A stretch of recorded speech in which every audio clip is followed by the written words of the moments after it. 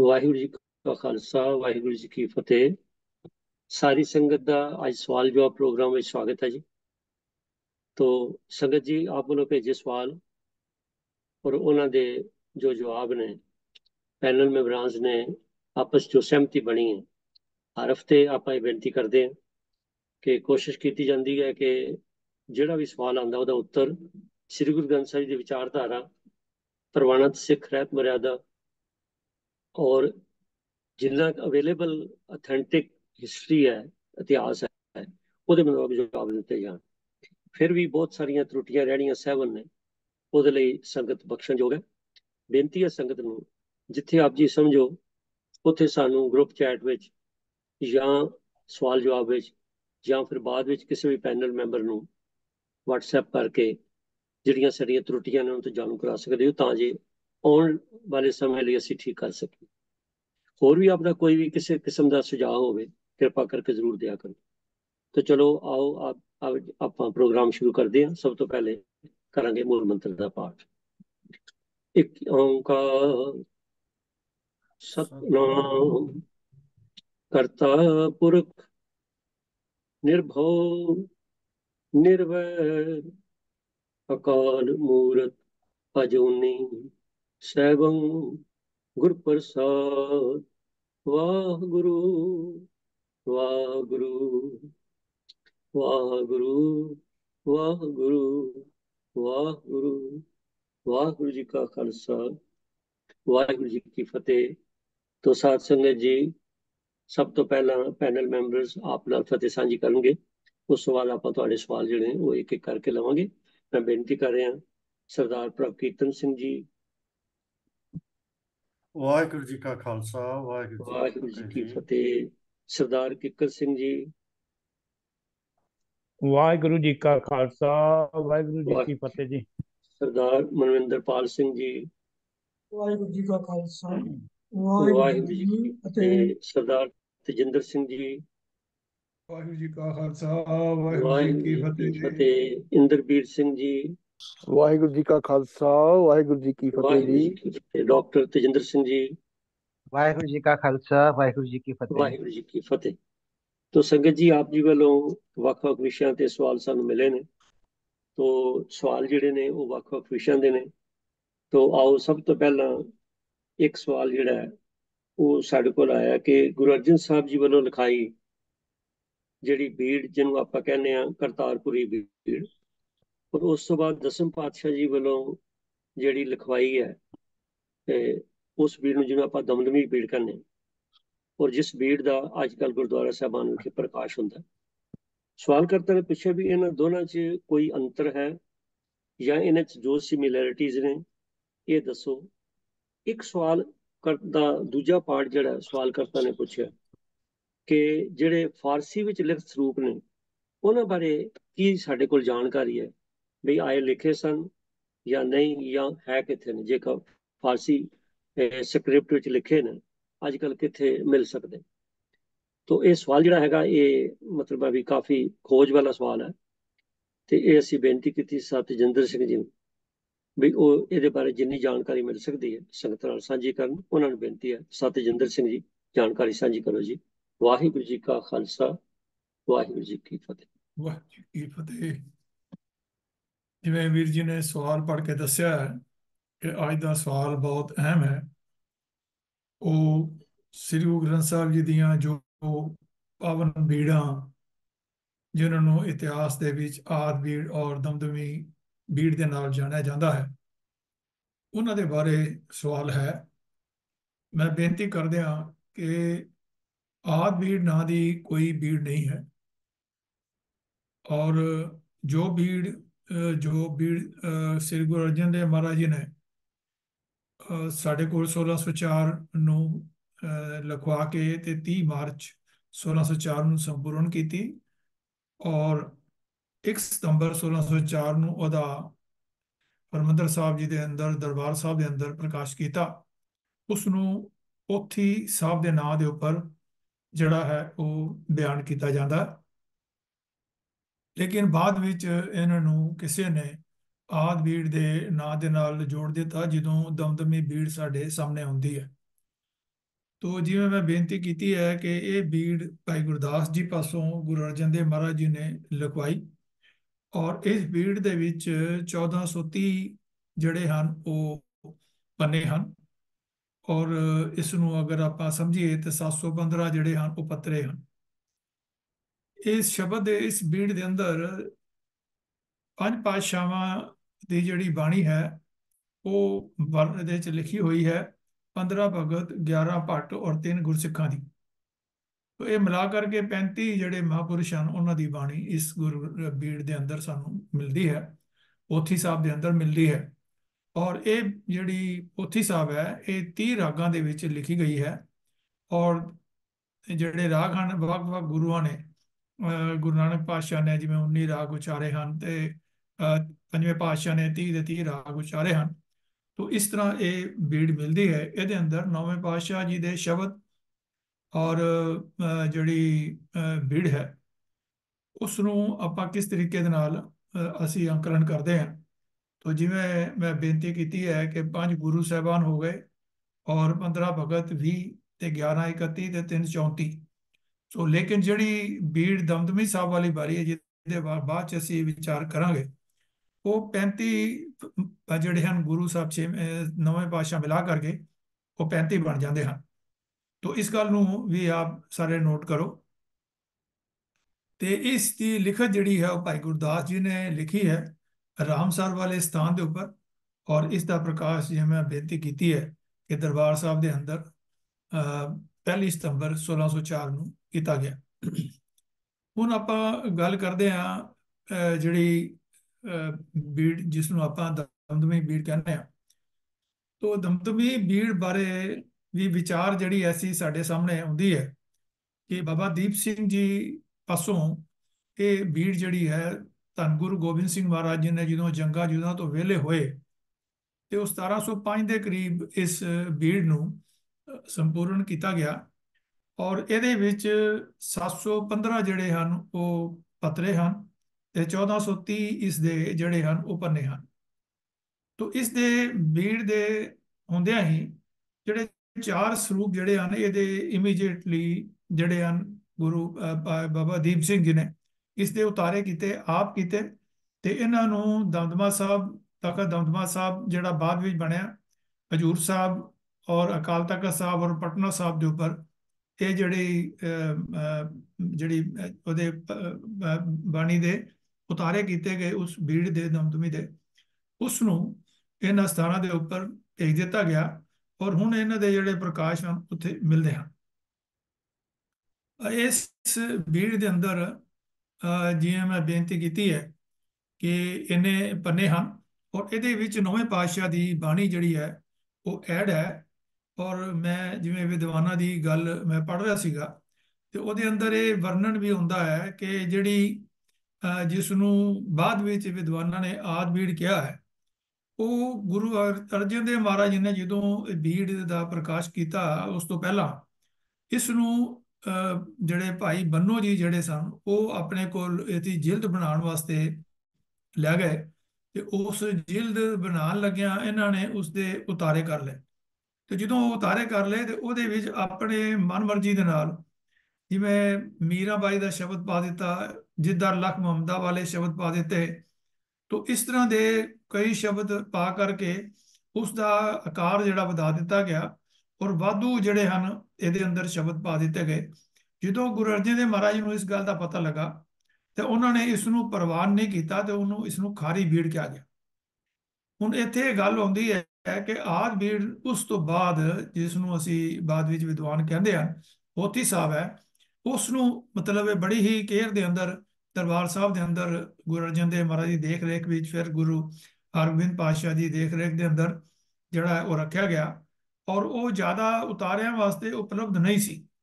ਲੇਕਿਨ ਇਸ ਦੇ ਇਸ ਦੇ ਕਾਰਨ ਜਿਹੜੀ ਭਾਈ ਬੰਨੋ ਵਾਲੀ ਬੀੜ ਜਿਹਨੂੰ ਖਾਰੀ ਬੀੜ ਕਿਹਾ ਸਕਦਾ, ਕਿਹਾ ਜਾ ਸਕਦਾ ਹੈ ਉਸ ਦੇ ਉਤਾਰੇ ਜਿਹੜੇ ਹਨ, ਉਹ ਬੜੇ ਉਪਲਬਧ ਹੋਣੇ ਸ਼ੁਰੂ ਹੋ ਗਏ ਸੰਗਤਾਂ ਦੇ ਵਿੱਚ, ਉਹ ਜਿਹੜੇ ਹਨ ਲੈ ਕੇ ਚਲੇ ਗਏ।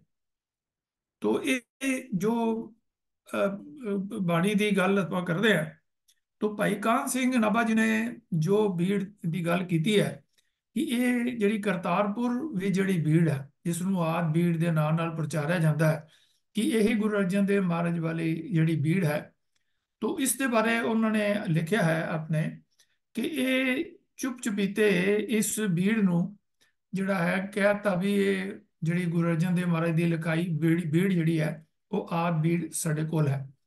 ਲੇਕਿਨ ਉਹ ਐਕਸਲ ਵਿੱਚ ਭਾਈ ਬੰਨੋ ਜੀ ਦੀ ਜਿਹੜੀ ਲਿਖੀ ਹੋਈ ਬੀੜ ਹੈ ਉਸ ਦੇ ਵੀ ਅੱਗੋਂ ਕਈ ਉਤਾਰੇ ਹੋ ਗਏ, ਉਤਾਰਿਆਂ ਤੋਂ ਉਤਾਰੇ ਫਿਰ ਅੱਗੋਂ ਉਤਾਰੇ ਹੋ ਗਏ। ਤੇ ਉਹਦੇ ਵਿੱਚ ਵੀ ਕਈ ਜਿਹੜੇ ਬਾਣੀਆਂ ਹਨ, ਉਹ ਅਲੱਗ ਹਨ ਔਰ ਕਈ ਅਸ਼ੁੱਧੀਆਂ ਵੀ ਜਿਹੜੀਆਂ ਉਸ ਦੇ ਅੰਦਰ ਆ ਗਈਆਂ ਹਨ। ਤੋ ਇਹ ਇਹਦੇ ਅੰਦਰ ਇੱਕ ਜਿਹੜਾ 974 ਜਿਹੜਾ ਕਰਤਾਰਪੁਰ ਦੇ ਤਤਕਰੇ ਮੁਤਾਬਕ 1974 ਤੇ ਰਾਗਮਾਲਾ ਲਿਖੀ ਹੈ ਔਰ ਉੱਥੇ ਸਿੰਗਲਾਦੀਪ ਦੀ ਸ਼ਿਵਨਾਭ ਰਾਜੇ ਦੀ ਵਿਧੀ ਦਰਜ ਹੈ। ਪਰ ਜਿਹੜੀ ਦਮਦਮੀ ਸਾਹਿਬ ਵਾਲੀ ਭੀੜ ਹੈ, ਉਹਦੇ ਵਿੱਚ ਸਿੰਗਲਾਦੀਪ ਸ਼ਿਵਨਾਭ ਰਾਜੇ ਦੀ ਜਿਹੜੀ ਹੈ, ਇਹ ਜਿਹੜੀ ਕਹਾਣੀ ਹੈ, ਇਹ ਨਹੀਂ ਹੈ। ਲੇਕਿਨ ਭਾਈ ਕਾਨ ਸਿੰਘ ਨਾਭਾ ਜੀ ਨੇ ਵੀ ਜਦੋਂ ਆਪਣੇ ਉਹ ਵਿਚਾਰ ਲਿਖੇ ਹਨ ਇਸ ਭੀੜ ਦੇ ਬਾਰੇ। ਤੇ ਉਹਦੇ ਵਿੱਚ ਵੀ ਇਹ ਚੀਜ਼ ਲਿਖਦੇ ਹਨ ਕਿ ਜਿਹੜੀ ਕਰਤਾਰਪੁਰ ਵਾਲੀ ਭੀੜ ਹੈ ਉਸ ਨੂੰ ਅਸੀਂ ਆਦ ਗ੍ਰੰਥ ਦੀ ਮੁਕੰਮਲ ਕਾਪੀ ਅਸੀਂ ਨਹੀਂ ਮੰਨ ਸਕਦੇ। ਤੇ ਇਹ ਜਿਹੜੀ ਮਕਾਲਫ ਨੇ ਲਿਖਿਆ ਨੇ, ਮਕਾਲਫ ਨੇ ਵੀ ਇਹ ਗੱਲ ਕਰਤਾਰਪੁਰ ਭੀ- ਭੀੜ ਦੇ ਬਾਰੇ ਲਿਖੀ ਹੈ ਕਿ ਇਹ ਜੇ 974 ਜਿਹੜੇ ਹਨ, ਇਹਦੇ ਪਤਰੇ ਸਨ ਤੇ 900 1948 ਇਹਦੇ ਪੇਜ ਸਨ। ਇਹਨਾਂ ਵਿੱਚੋਂ 453 ਜਿਹੜੇ ਸਨ, ਉਹ ਪੰਨੇ ਬਿਲਕੁਲ ਖਾਲੀ ਸਨ। ਔਰ ਕਈ ਹੋਰ 100 ਜਗ੍ਹਾ ਦੇ ਉੱਪਰ ਇਹਦੇ ਵਿੱਚ ਕੁਝ ਹਿੱਸੇ ਜਿਹੜੇ ਸਨ ਉਹ ਖਾਲੀ ਸਨ ਤੇ ਅੱਧੇ ਦੇ ਵਿੱਚ ਸ਼ਬਦ ਜਿਵੇਂ ਲਿਖੇ ਹਨ। ਪਰ ਇਹ ਇਹ ਪੂਰੀ ਤਰੀਕੇ ਨਾਲ ਜਿਹੜੇ ਹਨ, ਇਹਨੂੰ ਜਿਹੜਾ ਇਹਦੇ ਅੰਦਰ 24 ਜਿਹੜੇ ਹਨ, ਉਹ ਲਾਈਨਾਂ ਸਨ। ਮੈਂ ਬੇਨਤੀ ਕਰਾਂ ਕਿ ਜਿਹੜੀ ਦੰਦਮਾ ਸਾਹਿਬ ਵਾਲੀ ਭੀੜ ਹੈ, ਜਿਹਦਾ ਉਤਾਰਾ ਅੱਜ ਕੱਲ ਸਾਡੇ ਕੋਲ ਉਪਲਬਧ ਹੈ, ਜਿਸ ਦਾ ਅਸੀਂ ਪ੍ਰਕਾਸ਼ ਕਰ ਰਹੇ ਹਾਂ, ਉਹਦੇ ਵਿੱਚ 19 ਲਾਈਨਾਂ ਹਨ। ਇੱਕ ਤੋਂ 19 ਤੱਕ ਹਨ, ਜਿਹਦੇ ਸ- ਸ਼ਬਦ ਜਿਹੜੇ ਹਨ, ਉਹ ਲਿਖੇ ਹੋਏ ਹਨ। ਤੇ ਟੋਟਲ ਸਪੇਸ ਜਿਹੜਾ ਇਸ ਕਰਤਾਰਪੁਰ ਵਾਲੀ ਭੀੜ ਵਿੱਚ ਹੈ, ਉਹਦੇ ਚ 133 ਜਿਹੜੇ ਹੋਰ ਪੂਰੇ ਪੇਜ ਹਨ, ਉਹ ਵੀ ਖਾਲੀ ਹਨ। ਤੇ ਇਸ ਤਰੀਕੇ ਨਾਲ 1948 ਪੇਜਾਂ ਜਿਹੜੇ ਇਸ ਕਰਤਾਰਪੁਰੀ ਭੀੜ ਦੇ ਹਨ, ਉਹਦੇ ਵਿੱਚ 568 ਜਿਹੜੇ ਪੰਨੇ ਹਨ, ਉਹ ਬਿਲਕੁਲ ਹੀ ਖਾਲੀ ਹਨ ਅਨਯੂਜ਼ਡ ਹਨ। ਤੋ ਇੱਥੋਂ ਇਹ ਪਤਾ ਲੱਗਦਾ ਹੈ ਕਿ ਇਸ ਭੀੜ ਬਾਰੇ ਸਭ ਕੁਝ ਜਿਹੜਾ ਹੈ, ਉਹ ਸੱਚੋ ਸੱਚ ਨਹੀਂ ਹੈ। ਔਰ ਇਸ ਨੂੰ ਆਦ ਗ੍ਰੰਥ ਕਹਿਣਾ ਜਾਂ ਆਦ ਭੀੜ ਕਹਿਣਾ ਜਿਹੜਾ ਇਹ ਬਿਲਕੁਲ ਹੀ ਮੁਨਾਸਬ ਨਹੀਂ ਹੈ। ਔਰ ਇਹ ਭਾਈ ਬੰਨੋ ਵਾਲੀ ਭੀੜ ਦੇ ਅੱਗੋਂ ਉਤਾਰਿਆਂ ਤੋਂ ਉਤਾਰੇ ਤੇ ਉਤਾਰੇ। ਔਰ ਇਸ ਨੂੰ ਜਦੋਂ ਕਾਪੀਆਂ ਕੀਤੀਆਂ, ਇਹ ਅੰਦਰ ਹੋਰ ਵੀ ਕਈ ਜਿਹੜੇ ਹਨ, ਉਹ ਅਸ਼ੁੱਧੀਆਂ ਆਈਆਂ ਹਨ। ਇਹ ਜਿਹੜੇ ਭਾਈ ਜੋਤ ਸਿੰਘ ਜੀ ਹਨ, ਉਹ ਬੜੇ ਵਿਦਵਾਨ ਹੋਏ ਹਨ। ਉਹਨਾਂ ਤੋਂ ਛੋਟ ਭਾਈ ਹਰਭਜਨ ਸਿੰਘ ਜੀ ਜਿਹੜੇ ਹਨ, ਵਿਦਵਾਨ ਹਨ। ਔਰ ਹੋਰ ਜਿਹੜੇ ਰਤਨ ਸਿੰਘ ਜਿਹੜੇ ਜੱਗੀ ਹਨ ਔਰ ਜਗ ਜਗਤਾਰ ਸਿੰਘ ਜੀ, ਜਾਚਕ ਹਨ, ਇਹਨਾਂ ਦੇ ਵਿਦਵਾਨ ਜਿਹੜੇ ਹਨ, ਉਹਨਾਂ ਨੇ ਭਾਈ ਕਾਨ ਸਿੰਘ ਨਾਭਾ ਜੀ ਨੇ, ਇਹਨਾਂ ਨੇ ਜਿਹੜੀ ਕਰਤਾਰਪੁਰ ਵਾਲੀ ਭੀੜ ਹੈ ਇਸ ਨੂੰ origignal ਭੀੜ ਨਹੀਂ ਸਮਝਿਆ, ਨਾ ਹੀ ਇਹਨੂੰ ਦਰਬਾਰ ਸਾਹਿਬ ਵਾਲੀ ਭੀੜ ਦਾ ਗੁਰੂ ਅਰਜਨ ਦੇਵ ਪਾਤਸ਼ਾਹ ਜੀ ਨੇ ਉਹ ਭਾਈ ਗੁਰਦਾਸ ਜੀ ਤੋਂ ਲਿਖਵਾਇਆ ਸੀ, ਉਹਦਾ ਹੀ ਉਤਾਰਾ ਮੰਨਿਆ ਹੈ। ਤੋ ਇਹ ਜਿਹੜੀ ਭੀੜ ਹੈ, ਇਸ ਤਰੀਕੇ ਨਾਲ ਖਾਲੀ ਪੇਜ ਜਿਹੜੇ ਹਨ ਉਹ origignal ਭੀੜ ਦੇ ਵਿੱਚ ਤਾਂ ਰਹਿ ਸਕਦੇ ਹਨ, ਲੇਕਿਨ ਜਿਹੜੇ ਅੱਗੋਂ ਉਤਾਰੇ ਹੋਏ ਹਨ, ਉਹਨਾਂ ਵਿੱਚ ਉਹ ਨਹੀਂ ਰਹਿ ਸਕਦੇ। ਤੋ ਇਸ ਪੱਖੋਂ ਵੀ ਇਸ ਗੱਲ ਦੇ ਉੱਪਰ ਬੜੀ ਜਿਹੜੀ ਹੈ, ਔਰ ਗੁਰੂ, ਡਾਕਟਰ ਗੁਰਸ਼ਰਨ ਸਿੰਘ ਜੀ ਤੋਂ ਪਹਿਲਾਂ ਇੱਕ ਹਰਨਾਮ ਦਾਸ ਜੀ ਉਦਾਸੀ ਪੁਰਾਤਨ ਬੀੜਾਂ ਦੇ ਵਿਚਾਰ ਪੰਨਾ 20 ਦੇ ਉੱਤੇ ਲਿਖਦੇ ਹਨ ਇਸ ਸਿੱਟਾ ਇਹ ਹੈ ਕਿ ਕਰਤਾਰਪੁਰ ਵਾਲੀ ਬੀੜ ਅਸਲ ਕਾਪੀ ਤੋਂ ਤੀਜੀ ਥਾਂ ਤੇ ਕਾਪੀ ਹੈ। ਅਸਲ ਨਹੀਂ, ਇਹ ਭਾਈ ਬੰਨੋ ਜੀ ਵਾਲੀ ਕਿਸੇ ਸ਼ੁੱਧ ਕਾਪੀ ਦੀ ਕਾਪੀ ਹੈ। ਕਿਉਂਕਿ ਇਸ ਦੇ ਮਾਰੂ ਰਾਗ ਵਿੱਚ ਮੀਰਾ ਬਾਈ ਦਾ ਸ਼ਬਦ ਲਿਖ ਕੇ ਕਲਮ ਨਾਲ ਕੱਟਿਆ ਹੋਇਆ ਹੈ। ਡਾਕਟਰ ਗੁਰਸ਼ਰਨਜੀਤ ਸਿੰਘ ਜੀ, ਗੁਰੂ ਗ੍ਰੰਥ ਸਿੰਘ ਪਰੰਪਰਾ ਅਤੇ ਇਤਿਹਾਸ ਵਿੱਚ ਭਾਈ ਗੁਰਦਾਸ ਵਾਲ ਜੀ ਵਾਲੀ ਬੀੜ ਦੇ ਸਿਰਲੇਖ ਹੇਠ ਲਿਖਦੇ ਹਨ। ਗੁਰੂ ਅਰਜਨ ਦੇਵ ਜੀ ਨੇ 1604 ਈਸਵੀ ਨੂੰ ਜਿਹੜੀ ਆਦ ਬੀੜ ਤਿਆਰ ਕਰਵਾਈ ਸੀ ਨੂੰ ਭਾਈ ਗੁਰਦਾਸ ਵਾਲੀ ਬੀੜ ਕਿਹਾ ਜਾਂਦਾ ਹੈ ਕਿ ਇਸ ਦੇ ਮੁੱਖ ਲਿਖਾਰੀ ਭਾਈ ਗੁਰਦਾਸ ਜੀ ਹਨ। ਪਰ ਹੁਣ ਇਹ ਗ੍ਰੰਥ ਕਿੱਥੇ ਹੈ? ਇਸ ਦਾ ਪ੍ਰਸ਼ਨ ਜਿਹੜਾ ਹੈ, ਉਹ ਬੜਾ ਜਿਹੜਾ ਹੈ ਪਰੇਸ਼ਾਨ ਕਰਨ ਵਾਲਾ ਹੈ ਕਿਉਂਕਿ ਕਈ ਵਿਦਵਾਨ ਲਿਖਦੇ ਹਨ ਕਿ ਕੂਪ ਰੀੜੇ ਦੇ ਮੈਦਾਨ ਦੇ ਵਿੱਚ ਜਦੋਂ ਜੰਗਲ ਨੂੰ ਅੱਗ ਲਗਾਈ ਗਈ ਉੱਥੇ ਇਹ ਭੀੜ ਜਿਹੜੀ ਹੈ ਉਹ ਜਿਹੜੀ ਸੜ ਕੇ ਸੁਆਹ ਹੋ ਗਈ। ਔਰ ਕਈ ਲਿਖਦੇ ਹਨ ਕਿ ਜਿਸ ਵੇਲੇ ਅਹ, ਜਿਹੜਾ ਅਬਦਾਲੀ ਸੀਗਾ ਉਸ ਦਾ ਦੂਸਰਾ ਨਾਂ ਹੈ ਉਹ ਉਸਨੇ ਜਲੰਧਰ ਤੋਂ ਆ ਕਰਕੇ ਜਦੋਂ ਇੱਥੇ ਥੰਮ ਸਾਹਿਬ ਤੇ ਕਰਤਾਰਪੁਰ ਜਿੱਥੇ ਭੀੜ ਰੱਖੀ ਸੀ ਉੱਥੇ ਹਮਲਾ ਕੀਤਾ ਤਾਂ ਉੱਥੇ ਅੱਗ ਲੱਗਣ ਨਾਲ ਇਹ ਭੀੜ ਉਸ ਵੇਲੇ ਸੜ ਗਈ। ਤੋ ਖੈਰ ਇਹ ਵੀ ਜਿਹੜੀ ਜਿਹਨਾਂ ਜਿਹੜੀਆਂ ਇਹ ਰਿਸਰਚ ਦੇ ਆ ਜਿਹੜੀਆਂ ਮੁਤਾਜ ਹਨ ਹੋਰ ਰਿਸਰਚ ਇਸ ਤੇ ਜਿਹੜੀ ਹੈ ਉਹ ਲੋੜ ਹੈ।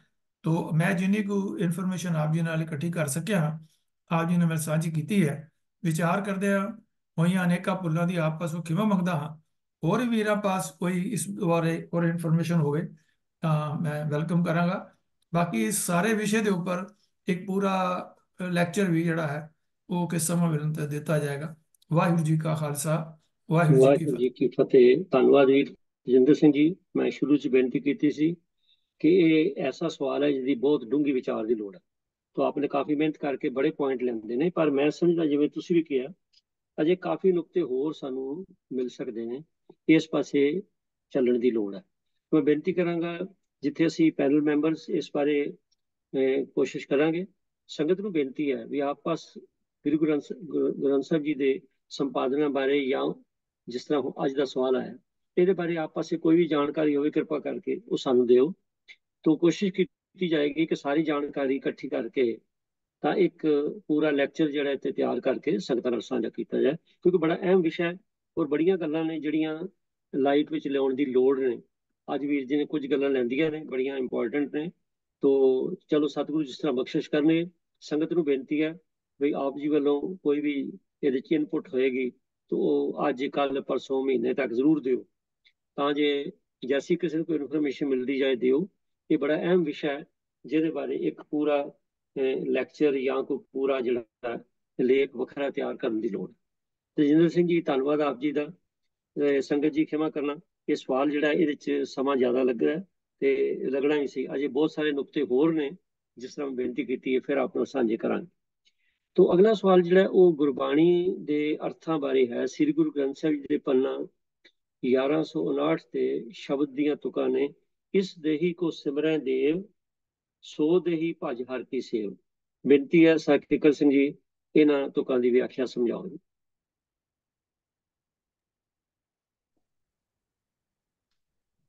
ਹਾਂਜੀ ਵੀਰ ਜੀ ਵਾਹਿਗੁਰੂ ਜੀ ਕਾ ਖਾਲਸਾ ਵਾਹਿਗੁਰੂ ਜੀ ਕੀ ਫਤਿਹ ਜੀ। ਹਾਂਜੀ ਜੋ ਸਵਾਲ ਵਿਸ਼ੇ ਦੀਨ ਆਇਆ ਹੈ। ਇਸ ਦੇਹੀ ਕੋ ਸਿਮਰੇ ਦੇਵ, ਅਹ ਇਸ ਦਾ ਅਰਥ ਭਾਵ ਕੀ ਹੈ? ਸੋ ਇਹਦੀ ਆਪਾਂ ਸੰਖੇਪ ਜਿਹੀ ਵਿਚਾਰ ਕਰਨੀ ਹੈ।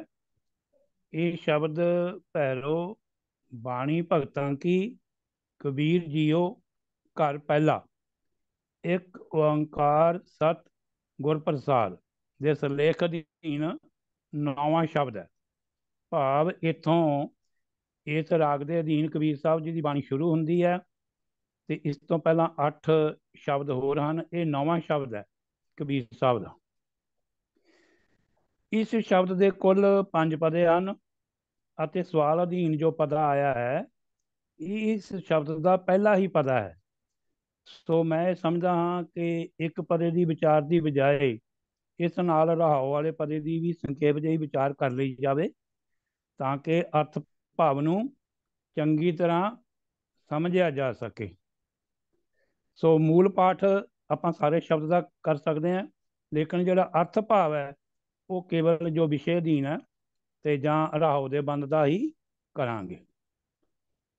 ਵਾਹਿਗੁਰੂ, ਗੁਰ ਸੇਵਾ ਤੇ ਭਗਤ ਕਮਾਈ, ਤਾਬ ਇਹ ਮਾਨਸ ਦੇਹੀ ਪਾਈ, ਇਸ ਦੇਹੀ ਕੋ ਸਿਮਰੇ ਦੇਵ, ਸੋ ਦੇਹੀ ਭਜ ਹਰ ਕੀ ਸੇਵ। ਭਜੋ ਗੋਬਿੰਦ, ਭੂਲ ਮਤ ਜਾਹੋ, ਮਾਨਸ ਜਨਮ ਕਾ ਇਹੀ ਲਾਹ ਰਹਾਓ।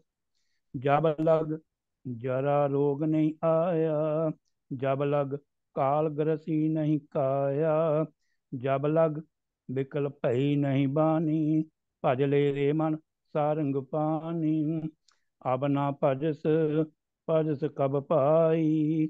ਆਵੇ ਅੰਤ ਨਾ ਭਜਿਆ ਜਾਈ।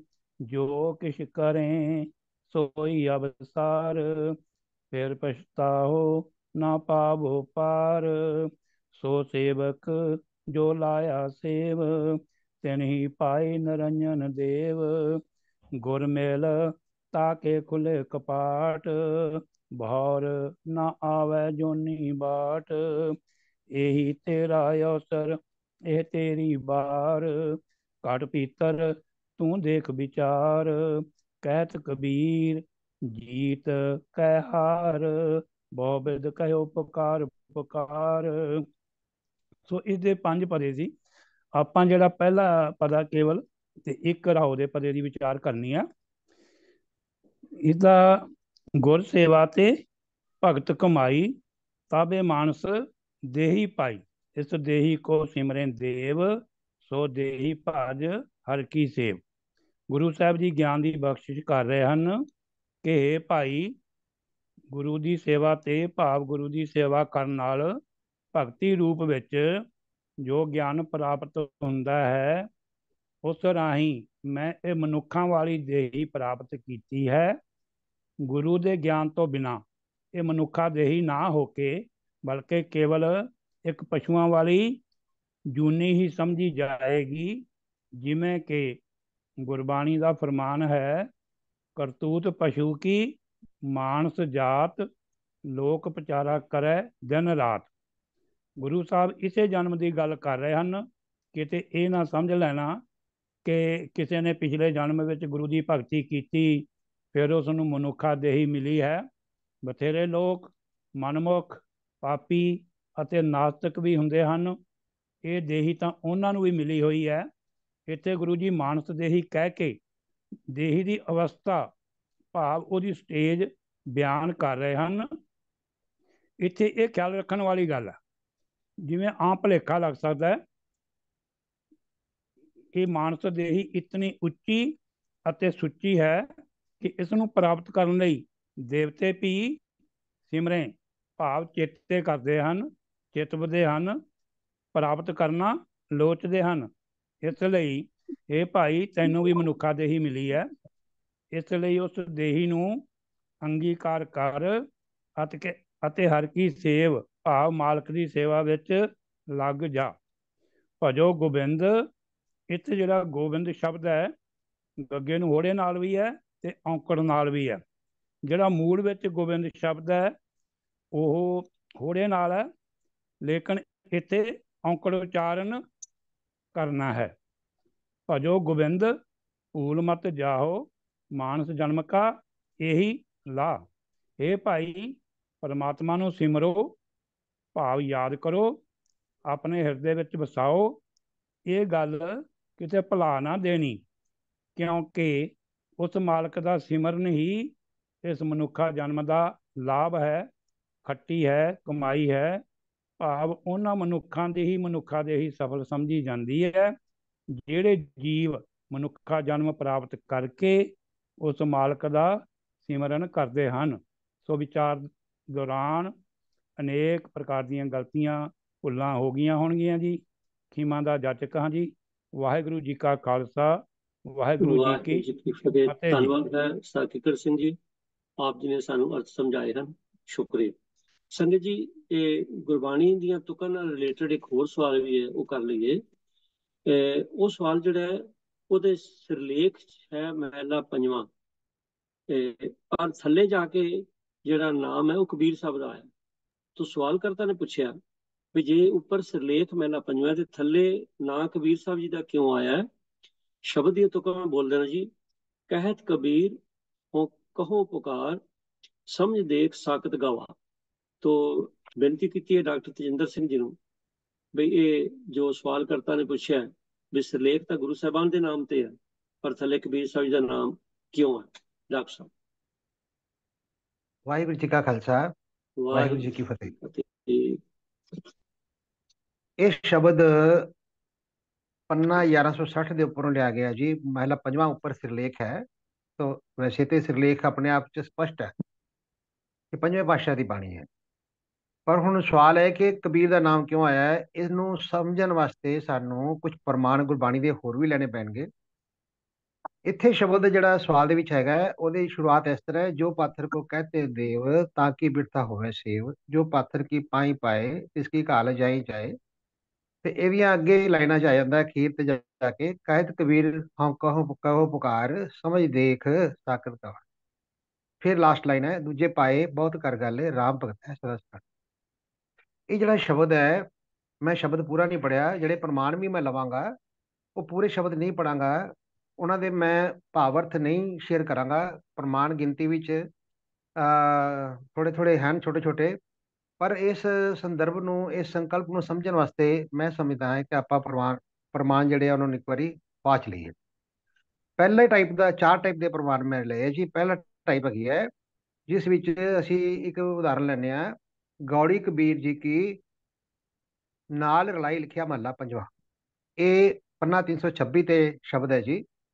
ਐਸੋ ਅਚਰਜ ਦੇਖਿਓ ਕਬੀਰ ਦਦ ਕੈ ਭੋਲੇ ਬਿਰੋਲੇ ਨੀਰ ਰਹਾਓ ਹਰੀ ਅੰਗੂਰੀ ਗਧਾ ਚਰੈ ਨਿਤ ਉਠ ਹਾਸੇ ਕੇ ਮਰੈ ਮਾਤਾ ਪੈਸਾ ਅਮੁਹਾ ਜਾਏ ਖੁਦ ਖੁਦ ਚਰੈ ਰਸਾਤਲ ਪਾਏ ਕਉ ਕਬੀਰ ਪ੍ਰਗਟ ਭਈ ਖੇਡ ਲੇਲੇ ਕੋ ਚੁੰਗੇ ਨਿਤ ਭੇੜ ਇੱਥੇ ਇੱਥੇ ਕਬੀਰ ਜੀ ਆਪਣੀ ਗੱਲ ਕਹਿ ਗਏ ਕਿਉਂਕਿ ਕਹੋ ਕਬੀਰ ਆ ਗਿਆ ਇਹ ਸ਼ਬਦ ਗੌੜੀ ਕਬੀਰ ਜੀ ਕੀ ਹੈ ਮਤਲਬ ਕਬੀਰ ਜੀ ਦਾ ਅੱਗੇ ਇਹਦੇ ਵਿੱਚ ਲਿਖਿਆ ਸੀ ਨਾਲ ਰਲਾਏ ਲਿਖਿਆ ਮਹੱਲਾ ਪੰਜਵਾਂ ਇਸ ਤਰ੍ਹਾਂ ਹੀ ਲਿਖਿਆ ਗੁਰੂ ਗ੍ਰੰਥ ਸਾਹਿਬ ਵਿੱਚ ਗੁਰੂ ਅਰਜਨ ਸਾਹਿਬ ਪਾਸ਼ਾ ਇਸ ਦੇ ਵਿੱਚ ਜਾਣਕਾਰੀ ਦਿੰਦੇ ਹਨ ਕਿ ਇਹ ਸ਼ਬਦ ਤਾਂ ਕਬੀਰ ਦਾ ਹੈ, ਪਰ ਪੰਜਵੇਂ ਮਹਿਲੇ ਨੇ ਕੁਛ ਇਹਦੇ ਵਿੱਚ ਐਡ ਕੀਤਾ ਹੈ, ਗੁਰੂ ਸਾਹਿਬ ਨੇ ਆਪ ਐਡ ਕੀ ਕੀਤਾ ਹੈ ਪ੍ਰੋਫੈਸਰ ਸਾਹਿਬ ਸਿੰਘ ਦੇ ਮੁਤਾਬਕ ਆਖਰੀ ਲਾਈਨ ਹੈ, ਰਾਮ ਰਮਤ ਮਤ ਪ੍ਰਗਟੀ ਆਏ ਕਿਉਂਕਿ ਜਿਹੜਾ ਤੀਸਰਾ ਪਦ ਹੈ, ਉਹਦੇ ਵਿੱਚ ਕਹੋ ਕਬੀਰ ਸ਼ਬਦ ਆ ਗਿਆ।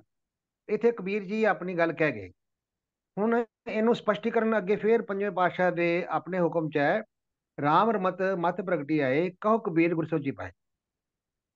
ਐਕਚੁਅਲੀ ਕੀ ਹੈ ਕਿ ਸ਼ਬਦ ਦੇ ਅਰਥ ਜੇ 1 ਮਿੰਟ, ਇੱਕ ਥੋੜੀ ਥੋੜਾ ਜਿਹਾ ਟਾਈਮ ਲੈ ਲੈਣੇ ਆ ਕਿ ਇੱਥੇ ਜ਼ਿਕਰ ਕੀਤਾ ਹੈ ਕਿ ਇਨਸਾਨ ਗਧੇ ਦੀ ਤਰ੍ਹਾਂ, ਭੈਂਸੇ ਦੀ ਤਰ੍ਹਾਂ, ਲੇਲੇ ਤੇ ਭੇਡ ਦੀ ਤਰ੍ਹਾਂ ਭਟਕਿਆ ਹੈ, ਪ੍ਰਭੂ ਤੋਂ ਟੁੱਟਾ ਹੈ ਤੇ ਅੱਗੇ ਜਾ ਕੇ ਸਮਤ ਦੀ ਗੱਲ ਕੀਤੀ ਹੈ, ਅਰਜਨ ਪਾਸ਼ਾ ਨੇ ਇਹਨੂੰ ਕਲੀਅਰ ਕੀਤਾ ਹੈ ਕਿ ਰਾਮ ਰਮਤ ਮਤ ਪ੍ਰਗਟੀ ਹੈ। ਜਿਹੜੇ ਰਾਮ ਦੇ ਨਾਲ ਰਮ ਜਾਂਦੇ ਹਨ, ਉਹਨਾਂ ਨੂੰ ਸੋਝੀ ਮਿਲ ਜਾਂਦੀ ਹੈ, ਇਹ ਸ਼ਬਦ ਇੱਕ ਤਰ੍ਹਾਂ ਦਾ ਹੈ। ਦੂਸਰੀ ਟਾਈਪ ਸ਼ਬਦ ਦੀ ਮੈਂ ਬੇਨਤੀ ਕਰਾਂ ਛਾੜ ਮਨ ਹਰ ਬਿਖਮਨ ਕੋ ਸੰਗ। ਇਹ ਸ਼ਬਦ ਦਾ ਉੱਤੇ ਸਿਰਲੇਖ ਨਹੀਂ ਜੀ। ਤੇ ਇਹ ਸ਼ਬਦ ਜਿਹੜਾ ਹੈ, ਇਹ ਸੂਰਦਾਸ ਜੀ ਦਾ ਦੱਸਿਆ ਗਿਆ ਹੈ। ਇਹਦੇ ਵਿੱਚ ਅੱਗੇ ਜਾ ਕੇ ਸ਼ਬਦ ਪੂਰਾ ਕੀਤਾ ਹੈ ਪੰਜਵੇਂ ਪਾਸ਼ਾ ਨੇ। ਤੇ ਸਿਰਲੇਖ ਇਹਦਾ ਇਸ ਤਰ੍ਹਾਂ ਹੈ ਸਾਰੰਗ ਮਹੱਲਾ ਪੰਜਵਾਂ, ਸੂਰਦਾਸ 1253 ਪੰਨੇ ਦੇ ਹੈ ਜੀ। ਸਾਰੰਗ ਮਹੱਲਾ ਪੰਜਵਾਂ, ਸੂਰਦਾਸ ਓੰਕਾਰ ਸਤਿਗੁਰ ਪ੍ਰਸਾਦ ਹਰ ਕੇ ਸੰਗ ਬਸੇ ਹਰ ਲੋਕ, ਤਨ ਮਨ ਅਰਪ ਸਰਬ ਸਭ ਆਨੰਦ ਸਹਿਜ ਤੁਨ ਝੋਕ ਰਹਾਓ। ਇਹ ਇਹ ਜਿਹੜੇ ਲਾਈਨਾਂ, ਸ਼ਬਦ ਦੀਆਂ, ਇਹ ਜਿਹੜੀ ਗੱਲ ਕਹਿਣਾ ਚਾਹ ਰਹੇ ਸੀ ਸੂਰਦਾਸ ਜੀ, ਛਾੜ ਮਨ, ਹਰ ਬਿਖਮਨ ਕੋ ਸੰਗ, ਜਿਹੜੇ ਪ੍ਰਭੂ ਤੋਂ ਬੇਮੁਖ ਹੈ, ਉਹਨਾਂ ਦਾ ਸਾਥ ਛੱਡ ਦੇ। ਤੇ ਇਸੇ ਗੱਲ ਨੂੰ ਅੱਗੇ ਐਲੈਬੋਰੇਟ ਕਰ ਦਿੱਤਾ ਇਹ ਸ਼ਬਦ ਦੇ ਵਿੱਚ, ਜਿਹੜਾ ਮੈਂ ਤੁਹਾਨੂੰ ਦੱਸਿਆ ਜੀ, ਪੰਨਾ 1253 ਦੇ ਵਿੱਚ ਇਹ ਸ਼ਬਦ ਪੰਜਵੇਂ ਪਾਸ਼ਾ ਨੇ ਪੂਰਾ ਕੀਤਾ ਹੈ। ਸਿਰਲੇਖ ਇਸ ਤਰ੍ਹਾਂ ਹੀ ਹੈ ਸਾਰੰਗ ਮਹੱਲਾ ਪੰਜਵਾਂ ਸੂਰਦਾਸ ਮੈਂ ਬਹੁਤ ਪਾਵਰਫੁਲ ਵੱਲ ਨਹੀਂ ਜਾ ਰਿਹਾ ਜੀ ਟਾਈਮ ਲੱਗੇਗਾ ਟਾਈਪ ਤੀਸਰੀ ਜਿਹੜੀ ਹੈ ਉਹ ਅਸੀਂ ਜਿਹੜੇ ਜਿਹੜੇ ਸ਼ਲੋਕ ਹੈ ਕਬੀਰ ਜੀ ਦੇ ਇਹਦੇ ਵਿੱਚ ਅਸੀਂ ਨਜ਼ਰ ਮਾਰੀਏ ਪੰਨਾ 13 1375 ਤੇ ਆਉਂਦੇ ਨਾ ਜੀ ਇਹ ਜਿਵੇਂ ਕਬੀਰ ਜੀ ਦਾ 207ਵਾਂ ਸ਼ਲੋਕ ਹੈ, ਕਬੀਰ ਕਹਾਣੀ ਪੀੜ ਤੇ ਸਤਿਗੁਰ ਲਈ ਛੜਾਏ, ਪੂਰਾ ਪਰਬਲੀ, ਪਰਾ ਪਰਬਲੀ ਭਾਵਨੀ ਪ੍ਰਗਟ ਹੋਈ ਆਏ। 208ਵਾਂ ਸ਼ਲੋਕ, ਕਬੀਰ ਟਾਲੇ ਟੋਲੇ ਦਿਨ ਗਿਆ, ਵਿਆਜ ਬੜਨ ਤੋਂ ਜਾਏ, ਨਾ ਹਰ ਭਜਿਓ, ਨਾ ਖਤ ਪਟਿਓ, ਕਾਲ ਪਹੁੰਚਿਆ ਹੈ। ਅੱਗੇ 209ਵਾਂ ਸ਼ਲੋਕ, ਮਹੱਲਾ ਪੰਜਵਾਂ, ਫਿਰ 210ਵਾਂ ਸ਼ਲੋਕ, ਮਹੱਲਾ ਪੰਜਵਾਂ, ਫਿਰ 211ਵਾਂ ਸ਼ਲੋਕ, ਮਹੱਲਾ ਪੰਜਵਾਂ। ਇਹ ਤਿੰਨ ਸ਼ਲੋਕ ਸੀਰੀਅਲ ਨੰਬਰ ਨਹੀਂ ਤੋੜੇ ਗਏ। 207 208 209 210 211 ਤੋਂ ਸੀਰੀਅਲ ਨੰਬਰ ਹੀ ਦੱਸਦੇ ਆ ਕਿ ਇਹ ਕਬੀਰ ਜੀ ਦੇ ਸ਼ਲੋਕਾਂ ਦਾ ਹਿੱਸਾ ਹੀ ਲਏ ਗਏ ਹਨ ਗੁਰੂ ਗ੍ਰੰਥ ਸਾਹਿਬ ਪਾਤਸ਼ਾਹ ਦੇ ਵਿੱਚ। ਪਰ ਇਹਦੇ ਵਿੱਚ ਜਿਹੜਾ ਸਲੇਖ ਹੈ, ਉਹ ਕਬੀਰ ਜੀ ਦੇ ਸ਼ਲੋਕਾਂ ਦੇ ਵਿੱਚ ਪੰਜਵੇਂ ਪਾਤਸ਼ਾਹ ਦੇ ਸ਼ਲੋਕ ਨਾਲ ਰਲੇ ਹਨ ਤੇ ਸ਼ਲੋਕ ਵੱਖਰੇ ਹਨ। ਕਿਸੇ ਸ਼ਲੋਕ ਦੇ ਵਿੱਚ ਰਲਾਵਟ ਨਹੀਂ ਕੀਤੀ ਗਈ। ਕਬੀਰ ਜੀ ਦੇ ਆਪਣੇ ਸ਼ਲੋਕ ਹਨ, ਪੰਜਵੇਂ ਪਾਤਸ਼ਾਹ ਦੇ ਆਪਣੇ ਸ਼ਲੋਕ ਹਨ। ਕਬੀਰ ਕੁਕਰ ਭੌਂਕਣਾ, ਕਰੰਗ ਪਿਛੇ ਉਠਦਾਏ ਇਹ ਪੰਜਵੇਂ ਪਾਤਸ਼ਾਹ ਦਾ ਸ਼ਲੋਕ ਹੈ ਜੀ, ਮਹਲਾ ਪੰਜਵਾਂ। ਪਰ ਕਬੀਰ ਜੀ ਨੂੰ ਸੰਬੋਧਨ ਹੈ। ਫਿਰ ਅਗਲਾ ਅਗਲਾ ਸ਼ਲੋਕ, ਕਬੀਰ ਚਾਵਲ ਕਾਰਨੇ ਤੁਕੋ ਮੋਲੀ ਲਾਏ, ਸੰਗ ਸੰਗੀ ਬੈਸਤੇ ਤਬ ਪੁੱਛੋ ਤਰਵਰਾਏ ਫਿਰ ਅਗਲਾ ਸ਼ਲੋਕ, ਕਬੀਰ ਧਰਤੀ ਸਾਧ ਕੀ, ਤਸਕਰ ਬੈਸਾ ਗਾਏ, ਧਰਤੀ ਪਾਰ ਨ ਵਿਆਪੀ, ਉਨਕੋ ਲਾਹੁ ਲਾਏ ਤੋ ਇਹ ਦੂਸਰੀ ਟਾਈਪ ਮੈਂ ਬੇਨਤੀ ਕੀਤੀ ਹੈ ਜੀ, ਜਿਹਦੇ ਵਿੱਚ ਇਹ ਕਹਿਣ ਦੀ ਕੋਸ਼ਿਸ਼ ਕਰ ਰਿਹਾ ਕਿ ਸ਼ਲੋਕ ਜਿਹੜੇ ਹੈ, ਉਹ ਕਬੀਰ ਜੀ ਦੇ ਹਨ। ਪਰ ਗੁਰੂ ਅਰਜਨ ਪਾਸ਼ਾ ਨੇ ਕਬੀਰ ਜੀ ਦੇ ਵਿਚਾਰਾਂ ਨਾਲ ਸਹਿਮਤੀ ਪ੍ਰਗਟ ਕਰਦੇ ਹੋਏ ਉਸੇ ਪ੍ਰਥਾਏ ਉਸੇ ਪ੍ਰਕਰਨ ਦੇ ਉੱਪਰ ਆਪਣੇ ਕੁਝ ਸ਼ਲੋਕ ਆਪਣੀ ਅਮ, ਆਪਣੇ ਹੁਕਮ ਦੇ ਵਿੱਚ ਆਪਣੀ ਰਜ਼ਾ ਦੇ ਵਿੱਚ ਐਡ ਕੀਤੇ ਹਨ। ਇਸ ਤੋਂ ਅੱਗੇ ਇੱਕ ਅ, ਫਰੀਦ ਜੀ ਦੇ ਸ਼ਲੋਕ ਵੀ ਥੋੜਾ ਜਿਹਾ ਦੇਖ ਲਈਏ। 1380 ਪੰਨੇ ਦੇ ਉੱਪਰ ਫਰੀਦਾ ਰੱਤੀ ਰਤ ਨਾ ਨਿਕਲੇ ਜੇ ਤਨ ਚੀਰਾ ਕੋਈ ਜੋ ਤਨ ਰੱਤੇ ਰੱਬ ਸਿਓ ਤਿੰਨ ਤਨ ਰਤ ਨਾ ਹੋਈ। ਇਹ ਜਦੋਂ ਸ਼ਲੋਕ ਫਰੀਦ ਜੀ ਦਾ ਆਇਆ ਹੈ ਫਰੀਦ ਸ਼ਲੋਕ ਨੰਬਰ 51ਵਾਂ ਤੇ 52ਵਾਂ ਸ਼ਲੋਕ ਮਹੱਲੇ ਤੀਸਰੇ ਦਾ, ਗੁਰੂ ਅਮਰਦਾਸ ਪਾਤਸ਼ਾਹ ਨੇ ਇਸੇ ਸ਼ਲੋਕ ਦੇ ਪਰਥਾਏ ਆਪਣੇ ਵਿਚਾਰ ਰੱਖੇ ਹਨ। ਇਹ ਤਨ ਮਹੱਲਾ ਤੀਜਾ, ਇਹ ਤਨ ਸਭੋ ਰਤ ਹੈ, ਰਤ ਬਿਨ ਤਨ ਨਾ ਹੋਏ, ਸੋ ਜੋ ਸਹਿ ਰਤੇ ਆਪਣੇ, ਤਿੰਨ ਤਨ, ਅੱਗੇ ਉਹਨਾਂ ਨੇ ਐਡ ਕੀਤਾ ਲੋਭ ਰਤ ਨਾ ਹੋਏ। ਵੀ ਕਿਹੜਾ ਖੂਨ, ਇੱਥੇ ਲੋਭ ਰਤ ਦੀ ਜ਼ਿਕਰ ਕੀਤੀ ਗਈ ਹੈ। ਸੋ ਜੋ ਵੀ ਸਪਸ਼ਟੀਕਰਨ ਤੀਸਰੇ ਪਾਤਸ਼ਾਹ ਨੇ ਸਾਨੂੰ ਮਾਰਗਦਰਸ਼ਨ ਕਰਨਾ ਸੀ, ਇਹ ਇਹਦੇ ਚ ਕੀ ਮੈਂ ਕਹਿਣਾ ਚਾਹਨਾ ਕਿ ਜਿਹੜਾ ਪਹਿਲਾ ਸ਼ਲੋਕ ਸੀ ਸ਼ਲੋਕ ਫਰੀਦ ਜੀ, ਉਹ ਸ਼ਲੋਕ ਨੰਬਰ 51 ਸੀ ਤੇ ਤੀਸਰੇ ਪਾਤਸ਼ਾਹ ਦਾ ਜਿਹੜਾ ਸ਼ਲੋਕ ਆਂਦਾ ਸ਼ਲੋਕ ਨੰਬਰ 52 ਸੀਰੀਜ਼ ਨਹੀਂ ਤੋੜੀ ਗਈ। ਇਹ ਸ਼ਲੋਕ ਫਰੀਦ ਦੇ ਸ਼ਲੋਕਾਂ ਦਾ ਹੀ ਹਿੱਸਾ ਹੈ, ਪਰ ਇਹ ਦੂਸਰੀ ਟਾਈਪ ਹੈ ਜਦੋਂ ਗੁਰੂ ਪਾਤਸ਼ਾਹ ਆਪਣਾ ਮਾਰਗਦਰਸ਼ਨ ਸਾਨੂੰ ਪ੍ਰਦਾਨ ਕਰਦੇ ਹਨ। ਤੇ ਫਿਰ ਆ ਗਿਆ ਜੀ ਸ਼ਲੋਕ ਨੰਬਰ ਇੱਕ ਤੀਸਰਾ, ਚੌਥਾ ਟਾਈਪ ਹੋ ਗਿਆ ਜੀ। ਚੌਥੀ ਟਾਈਪ ਦੇ ਵਿੱਚ ਹੋ ਗਿਆ ਵੀ ਲਫ਼ਜ਼ ਨਾਨਕ ਦੇ ਥਾਂ ਧੰਨਾ ਲਿਖਿਆ ਗਿਆ ਹੈ, ਦੇਖੋ ਇੱਕ ਸ਼ਬਦ ਹੈ। ਗੋਬਿੰਦ ਗੋਬਿੰਦ ਸੰਗ ਨਾਮ ਦਿਓ ਮਨ ਲੀਨਾ ਆੜ ਦਾਮ ਕੋ ਛਿਪਰੋ ਹੋਇਓ ਲਾਖੀਨਾ ਰਹਾਓ ਇਹ ਬਿਦ ਸੁਣ ਕੇ ਜਟਰੋ ਉੱਠ ਭਗਤੀ ਲਾਗਾ ਮਿਲੇ ਪ੍ਰਤੱਖ ਗੁਸਾਈਆਂ ਧੰਨਾ ਵਡਭਾਗਾ ਇਹ ਸ਼ਬਦ ਵਿੱਚ ਧੰਨਾ ਵਡਭਾਗਾ ਦਾ ਜ਼ਿਕਰ ਹੈ ਪਰ ਸ਼ਬਦ ਦਾ ਇਸ ਲੇਖ ਪੜ੍ਹੀਏ ਤੇ 487 ਅੰਗ ਤੇ ਪੰਨੇ ਤੇ ਆਸਾ ਮਹੱਲਾ ਪੰਜਵਾਂ ਦਾ ਸ਼ਬਦ ਹੈ ਜੀ ਇਹ ਸ਼ਬਦ ਪੰਜਵੇਂ ਪਾਤਸ਼ਾਹ ਦਾ ਉਚਾਰਨ ਕੀਤਾ ਹੈ ਪਰ ਇਸ ਵਿੱਚ ਅਖੀਰੀ ਤੁਕ ਦੇ ਵਿੱਚ ਧੰਨਾ ਦਾ ਨਾਂ ਆ ਜਾਂਦਾ ਹੈ ਇਸੇ ਤਰ੍ਹਾਂ ਧੰਨਾ ਜੀ ਦਾ ਇੱਕ ਹੋਰ ਵੀ ਸ਼ਬਦ ਹੈ ਇਸੇ ਪੰਨੇ ਦੇ ਉੱਪਰ ਰੇ ਚਿਤ ਚਿਤ ਸਕੀ ਦਿਆਲ ਦਮੋਦਰ ਵਿਵੇ ਨ ਜਾਣਸ ਕੋਈ जे धावे ब्रह्मांड खंड को करता करे सो होए रहाओ पाखन कीट गुप्त होए करता ताजो मार्ग नाही कहे तन्ना पूर्ण का ताहू को ਮਾਤਰੇ ਜੀ ਡਰਾਏ ਇੱਥੇ ਵੀ ਪੰਜਵੇਂ ਪਾਤਸ਼ਾਹ ਦੀ ਬਾਣੀ ਹੈ ਪਰ ਅਖੀਰਲੀ ਤੁਕ ਦੇ ਵਿੱਚ ਧੰਨਾ ਜੀ ਦਾ ਜ਼ਿਕਰ ਆਇਆ ਹੈ ਇਸ ਟਾਈਪ ਦੇ ਵਿੱਚ ਅੱਗੇ ਹੋਰ ਹੈ ਜਿਹੜੇ ਸ਼ਬਦ ਭੈਰੋ ਰਾਗ ਦੇ ਵਿੱਚ ਕਬੀਰ ਜੀ ਦੇ ਹਨ। ਅਸੀਂ ਅਸੀਂ ਹੁਣ ਆ ਗਏ ਆਪਣੇ ਵਿਸ਼ੇ ਤੇ, ਜਿਹੜਾ ਸਵਾਲ ਹੈ ਜੀ, ਉਸ ਨਾਲ ਸੰਬੰਧਿਤ ਹੈ। ਉਸ ਤੇ ਕੀ ਹੈ? ਹੁਣ ਕਬੀਰ ਜੀ ਦੇ ਜਿਹੜੇ ਸ਼ਬਦ ਹਨ ਇਹਦੇ ਚ ਸ਼ਬਦ ਨੰਬਰ 11 12 13 14 ਇਹ ਸੀਰੀਜ਼ ਅਸੀਂ ਵੇਖਾਂਗੇ। 11 ਨੰਬਰ ਸ਼ਬਦ ਕਬੀਰ ਜੀ ਦਾ ਹੈ 12 ਨੰਬਰ ਸ਼ਬਦ ਮਹਲਾ ਪੰਜਵਾਂ ਦਾ ਹੈ 13 ਨੰਬਰ ਸ਼ਬਦ ਫਿਰ ਕਬੀਰ ਜੀ ਦਾ ਹੈ। ਤੋਂ ਕਹਿਣ ਤੋਂ ਭਾਵ ਹੈ, ਜਿਵੇਂ ਸ਼ਲੋਕ ਡਿਸਕਸ ਕੀਤੇ ਸੀ, ਉਵੇਂ ਇਹ ਸ਼ਬਦ ਵੀ ਕਬੀਰ ਜੀ ਦੀ ਹੀ ਲੜੀ ਚੱਲੀ ਆ ਰਹੀ ਹੈ। ਕਬੀਰ ਜੀ ਦੇ ਸ਼ਬਦਾਂ ਵਿੱਚ ਹੀ ਸ਼ਾਮਲ ਹੈ ਪਰ ਕਿਉਂਕਿ ਉੱਪਰ ਮਹਲਾ ਪੰਜਵਾਂ ਲਿਖਿਆ ਹੈ ਅਸੀਂ ਕਬੀਰ ਜੀ ਦਾ ਜਿਹੜਾ 11ਵਾਂ ਸ਼ਲੋਕ ਹੈ ਉਹ ਹੈ ਸੋ ਬੁਲਾ ਜੋ ਮਨ ਸੁਲ ਰਹਿ ਗੁਰ ਉਪਦੇਸ਼ ਕਾਲ ਸੋ ਜੁੜੇ। ਇਹਦੀ ਅਖੀਰਲੀ ਲਾਈਨ ਹੈ ਜੀ ਮੁਸਲਮਾਨ ਕੋਈ ਖੁਦਾਏ ਕਬੀਰ ਕਾ ਸਵਾਮੀ ਰਿਹਾ ਸਮਾਏ ਮੈਂ ਸ਼ਾਰਟ ਦੀ ਗੱਲ ਕਰ ਰਿਹਾ। ਇਸ ਤਰ੍ਹਾਂ ਹੀ ਜਿਹੜਾ 13ਵਾਂ ਇਹਦੇ ਚ ਅਮ, ਸ਼ਬਦ ਹੈ ਜਲ ਮੈਂ ਮੀਨ ਮਾਇਆ ਕੇ ਬੇਦੇ ਦੀਪਕ ਪਤੰਗ ਮਾਇਆ ਕੇ ਛੇਦੇ। ਇਹਦੀ ਵੀ ਅਖੀਰਲੀ ਲਾਈਨ ਇਸ ਤਰ੍ਹਾਂ ਜੀ ਕਹਿ ਕਬੀਰ ਜਿਸ ਉਧਰ ਤਿਸ ਮਾਇਆ ਤਬ ਛੂਟੇ ਜਬ ਸਾਧੂ ਪਾਇਆ। ਤੋ ਵਿਚਕਾਰ ਦੇ 12ਵਾਂ ਸ਼ਬਦ ਜਿਹੜਾ ਹੈ ਉਹ ਪੰਜਵੇਂ ਪਾਤਸ਼ਾਹ ਦਾ ਜਿਹੜਾ ਸਵਾਲ ਦੇ ਵਿੱਚ ਸ਼ਬਦ ਹੈ ਉਹ ਉਹ ਦਰਜ ਹੈ ਜੀ। ਤੇ ਇਸ ਦੇ ਉੱਪਰ ਵਿਚਾਰ ਚਲਦੀ। ਫਿਰ ਅਸੀਂ ਅਹ, ਜਿਹੜਾ ਜਿਹੜਾ ਕਬੀਰ ਜੀ ਦਾ ਨਾਂ ਕਿਉਂ ਆਇਆ ਸ਼ਬਦ ਅਖੀਰ ਤੇ ਇਸੇ ਪਰਥਾਏ ਅਹ, ਇੱਕ ਪ੍ਰਮਾਣ ਹੋਰ ਲੈਂਦੇ ਹਾਂ। ਪੈਰੋ ਮਹੱਲਾ ਪੰਜਵਾਂ। ਇਹ ਸ਼ਬਦ ਹੈ ਜੀ 1136 ਪੰਨੇ ਤੇ। ਇਸ ਵਿੱਚ ਇਹ ਮਹਾਰਾਜ ਕ- ਕਹਿੰਦੇ ਹਨ, ਪੰਜਵੇਂ ਮਹੱਲੇ ਦਾ, ਤਾਂ ਕਲੀਅਰ ਲਿਖਿਆ ਪੈਰੋ ਮਹੱਲਾ ਪੰਜਵਾਂ, ਸ਼ਬਦ ਗੁਰੂ ਅਰਜਨ ਪਾਤਸ਼ਾਹ ਦਾ ਹੀ ਹੋਇਆ ਨਾ, ਇੱਥੇ ਤੇ ਕੋਈ ਸ਼ੰਕਾ ਨਹੀਂ। ਵਰਤ ਨਾ ਰਹੋ ਨਾ ਮੈਂ ਰਵਦਾਨਾ ਇਸ ਸੇਵੀ ਜੋ ਰਖੇ ਨਿਦਾਨਾ, ਇਹ ਗੁਸਾਈ ਅੱਲੋ ਮੇਰਾ, ਹਿੰਦੂ ਤੁਰਕ ਦੁਹਾਨ ਵੇਰਾ ਰਹਾਓ। ਇਹ ਸ਼ਬਦ ਦੀ ਮੈਂ ਆਖਰੀ ਤੁਕ ਤੇ ਆ ਜਾਂਦਾ ਹਾਂ ਜੀ। ਕਹੋ ਕਬੀਰ, ਇਹ ਕੀਆ ਵਖਾਨਾ?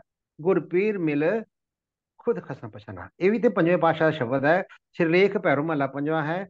ਪਰ ਐਡਰੈਸ ਕਬੀਰ ਜੀ ਨੂੰ ਕੀਤਾ ਹੋਇਆ ਹੈ। ਆਖਰੀ ਤੁਕ ਦੇ ਵਿੱਚ, ਕਹੋ ਕਬੀਰ, ਇਹ ਕੀਆ ਵਖਾਨਾ? ਗੁਰ ਮਿਲ, ਖੁਦ ਖਸਮ ਪਛਾਨਾ। ਤੋ ਇਸ ਤਰ੍ਹਾਂ ਦੀ ਹੀ ਇੱਕ ਉਦਾਹਰਨ ਅਸੀਂ ਅੱਜ ਡਿਸਕਸ ਕੀਤੀ ਹੈ ਇਸ ਦੇ ਵਿੱਚ। ਕਿਉਂਕਿ 56 ਸ਼ਬਦ ਹਨ ਇਸ ਦੇ ਵਿੱਚ 56ਵਾਂ ਸ਼ਬਦ ਹੈ 53 ਸ਼ਬਦ ਦੇ ਵਿੱਚੋਂ। ਤੇ ਇਹ ਇਸ ਤੋਂ ਬਾਅਦ ਫਿਰ ਅਸੀਂ ਅੱਜ ਆਪਣੇ ਇਸ ਵਿਚਾਰ ਤੇ ਆ ਜਾਂਦੇ ਹਾਂ। ਪ੍ਰੋਫੈਸਰ ਸਾਹਿਬ ਸਿੰਘ ਜੀ ਨੇ ਲਿਖਿਆ ਹੈ ਕਿ ਦੇਖੋ, ਇਹ ਵੀ ਕਹਿਣਾ ਗਲਤ ਹੈ ਕਿ ਪੰਜਵੇਂ ਪਾਤਸ਼ਾਹ ਨੇ ਕਬੀਰ ਜੀ ਦੀ ਬਾਣੀ ਦੇ ਵਿੱਚ ਆਪਣਾ ਸ਼ਬਦ ਲਾਇਆ ਹੈ। ਰਲਾਉਣ ਦੀ ਲੋੜ ਨਹੀਂ ਪੈਂਦੀ ਪੰਜਵੇਂ ਪੰਜਵੇਂ ਪਾਤਸ਼ਾਹ ਸਮਰੱਥ ਸਨ, ਉਹ ਆਪਣਾ ਸ਼ਬਦ ਆਪਣੇ ਸਿਰਲੇਖ ਹੇਠ ਲਿਖ ਸਕਦੇ ਸਨ, ਉਹਨਾਂ ਨੇ ਲਿਖਿਆ ਵੀ ਹੈ। ਤੋ ਇਸ ਕਰਕੇ ਇਹ ਜਿਹੜਾ ਵਿਚਾਰ ਹੈ ਸ਼ਬਦ ਦਾ, ਇਹਨਾਂ ਸਾਰੀਆਂ ਪ੍ਰਮਾਣਾਂ ਨੂੰ ਮੁੱਖ ਰੱਖ ਕੇ ਤੁਹਾਨੂੰ ਬੇਨਤੀ ਹੈ ਕਿ ਇਸ ਤਰ੍ਹਾਂ ਹੀ ਇਹ ਸਪਸ਼ਟੀਕਰਨ ਹੈ ਜੀ ਕਿ ਜਿਹੜਾ ਕਬੀਰ ਜੀ ਦਾ ਨਾਮ ਹੈ, ਉਹ ਐਡਰੈਸ ਕਰਨ ਵਾਸਤੇ ਸੰਬੋਧਨ ਕਰਨ ਵਾਸਤੇ ਗੁਰੂ ਪਾਤਸ਼ਾਹ ਨੇ ਵਰਤਿਆ ਹੈ। ਨਾਨਕ ਦੀ ਥਾਂ ਤੇ ਕਬੀਰ ਲਿਖਿਆ ਹੈ, ਇਸ ਤਰ੍ਹਾਂ ਮੰਨ ਲਈਏ ਤੇ ਸ਼ਬਦ ਜਿਹੜਾ ਹੈ ਉਹ ਮਹੱਲਾ ਪੰਜਵਾਂ, ਪੰਜਵੇਂ ਪਾਤਸ਼ਾਹ ਦਾ ਉਚਾਰਨ ਕੀਤਾ ਗਿਆ ਹੈ। ਭੁਲਾ ਚੁੱਕਾ ਦੀ ਕਿਮਾ, ਵਾਹਿਗੁਰੂ ਜੀ ਕਾ ਖਾਲਸਾ, ਵਾਹਿਗੁਰੂ ਜੀ ਕੀ ਡਾਕਟਰ ਸਾਹਿਬ ਨੇ ਬਹੁਤ ਸਾਰੀਆਂ ਗੁਰੂ ਗ੍ਰੰਥ ਸਾਹਿਬ ਜੀ ਦੀਆਂ ਹੋਰ ਤੁਕਾਂ ਦਾ ਹਵਾਲਾ ਦੇ ਕੇ ਇਸ ਗੱਲ ਨੂੰ ਬੜਾ ਸਪਸ਼ਟ ਕੀਤਾ। ਤੋ ਸੰਗਤ ਜੀ, ਇੱਕ ਗੱਲ ਜਿਹੜੀ ਡਾਕਟਰ ਸਾਹਿਬ ਨੇ ਨੋਟ ਕਰਨ ਵਾਲੀ ਹੈ ਕਿ ਇਹ ਸੰਗਤਾਂ ਦੀ ਜਾਂ ਮਤਲਬ ਜਗਿਆਸੂਆਂ ਦੀ ਸੋਝੀ ਲਈ ਗੁਰੂ ਮਹਾਰਾਜ ਨੇ ਇਹ ਜਿਹੜੇ ਹੋਰ ਕਲੈਰੀਫਿਕੇਟਰੀ ਸ਼ਬਦ ਜਿਹੜੇ ਨੇ ਲਿਖੇ। ਤਾਂ ਜੇ ਕੋਈ ਸਾਨੂੰ ਸਮਝਣ ਚ ਤਬਲਾ ਨਾ ਆ ਮੈਂ ਗੱਲ ਇਸ ਕਰਕੇ ਕਹਿ ਰਿਹਾ ਕਿ ਇੱਕ ਵਿਦਵਾਨ ਨੇ ਜਿਨ੍ਹਾਂ ਨੇ ਬਹੁਤ ਸਾਰੀਆਂ ਕਿਤਾਬਾਂ ਉਹਨਾਂ ਨੇ ਧਰ- ਸਿੱਖ ਧਰਮ ਤੇ ਲਿਖੀਆਂ ਉਹਨਾਂ ਨੇ ਇੱਕ ਕਿਤਾਬ ਮੈਨੂੰ ਭੇਜੀ ਸੀ ਤੇ ਉਹਦੇ ਵਿੱਚ ਇੱਕ ਥਾਂ ਤੇ ਉਹਨਾਂ ਲਿਖਿਆ ਸੀਗਾ ਬਈ ਜਿੱਥੇ ਕਬੀਰ ਸਾਹਿਬ ਨੇ ਠੀਕ ਨਹੀਂ ਲਿਖੀ ਗੱਲ, ਉਹਨੂੰ ਕਰੈਕਟ ਕਰਨ ਲਈ ਗੁਰੂ ਅਰਜਨ ਸਾਹਿਬ ਨੇ ਆਪਣਾ ਸ਼ਬਦ ਲਿਖਿਆ। ਇਹ ਗੱਲ ਨਾਲ ਮੈਂ ਸਹਿਮਤ ਨਹੀਂ ਹਾਂ ਤੇ ਉਹਦਾ ਕਾਰਨ ਇਹ ਹੈ ਕਿ ਗੁਰੂ ਗ੍ਰੰਥ ਸਾਹਿਬ ਵਿੱਚ ਕੰਟਰਡਿਕਸ਼ਨ ਕੋਈ ਨਹੀਂ। ਅਸਲ ਗੱਲ ਤੇ ਇਹੀ ਹੈ ਜਿਹੜੀ ਹੁਣ ਆਪਾਂ ਸਮਝ ਗਿਆ ਕਿ ਸੰਗਤਾਂ ਨੂੰ ਜਗਿਆਸੂਆਂ ਨੂੰ ਸਮਝਾਉਣ ਲਈ ਵੀ ਕਿਤੇ ਕੋਈ ਟਪਲਾ ਨਾ ਰੱਖਾ ਜਾਏ, ਉਹਨੂੰ ਹੋਰ ਕਲੈਰੀਫਾਈ ਕਰਨ ਲਈ, ਹੋਰ ਕਲੀਅਰ ਕਰਨ ਲਈ ਗੁਰੂ ਮਹਾਰਾਜ ਨੇ ਆਪਣੇ ਸ਼ਬਦ ਜਿਹੜੇ ਨੇ ਜਾਂ ਆਪਣੀਆਂ ਤੁਕਾਂ ਜਿਹੜੀਆਂ ਨੇ ਵਿੱਚ ਜੋੜੀਆਂ ਨੇ, ਇਸ ਗੱਲ ਦਾ ਸਾਨੂੰ ਬਿਲਕੁਲ ਧਿਆਨ ਰੱਖਣਾ ਚਾਹੀਦਾ। ਡਾਕਟਰ ਸਾਹਿਬ ਜੀ ਦਾ ਬਹੁਤ ਬਹੁਤ ਧੰਨਵਾਦ ਹੈ। ਤੋ ਸੰਗਤ ਜੀ ਆਓ ਆਪਾਂ ਅਗਲਾ ਜਿਹੜਾ ਸਵਾਲ ਹੈ, ਉਹ ਇਤਿਹਾਸ ਨਾਲ ਸੰਬੰਧਿਤ ਹੈ।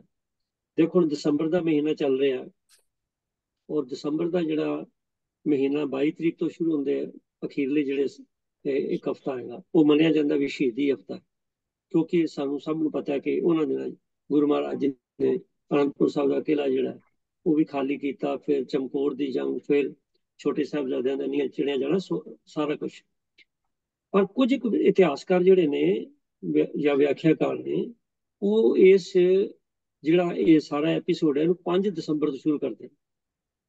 ਨਹੀਂ ਤੇ ਆਮ ਤੌਰ ਤੇ 22 ਦਸੰਬਰ ਤੋਂ ਗੱਲ ਕੀਤੀ ਜਾਂਦੀ ਹੈ। ਤੇ ਇਹ ਸੰਗਤਾਂ ਵਿੱਚ ਥੋੜਾ ਜਿਹਾ ਇਹ ਭੁਲੇਖਾ ਹੈ ਤੇ ਇਹ ਹੋਣਾ ਚਾਹੀਦਾ ਕਿ ਠੀਕ ਹੀ ਹੈ ਤਾਂ ਸਾਡੇ ਕੋਲ ਵੀ ਜਿਹੜਾ ਸਵਾਲ ਆਇਆ ਉਹ ਇਹੀ ਆਇਆ ਕਿ ਇਹ ਦੱਸੋ ਵੀ 1699 ਨੂੰ ਖਿਮਾ ਕਰ। ਇਹ ਮਾਫ ਕਰਨਾ ਜੀ ਮੈਂ ਮੇਰੇ ਮੂੰਹੋਂ ਨਿਕਲ ਗਿਆ 1699 ਕਿ ਜਿਹੜਾ ਗੁਰੂ ਅਹ, ਗੁਰੂ ਗੋਬਿੰਦ ਸਿੰਘ ਮਹਾਰਾਜ ਜੀ ਪਾਤਸ਼ਾਹ ਜੀ ਨੇ ਆਨੰਦਗੜ੍ਹ ਦਾ ਕਿਲ੍ਹਾ ਛੱਡਿਆ ਸੀਗਾ ਉਹ ਤਰੀਕ 5 ਤਰੀਕ ਹੈ ਕਿ 22 ਤਰੀਕ ਹੈ?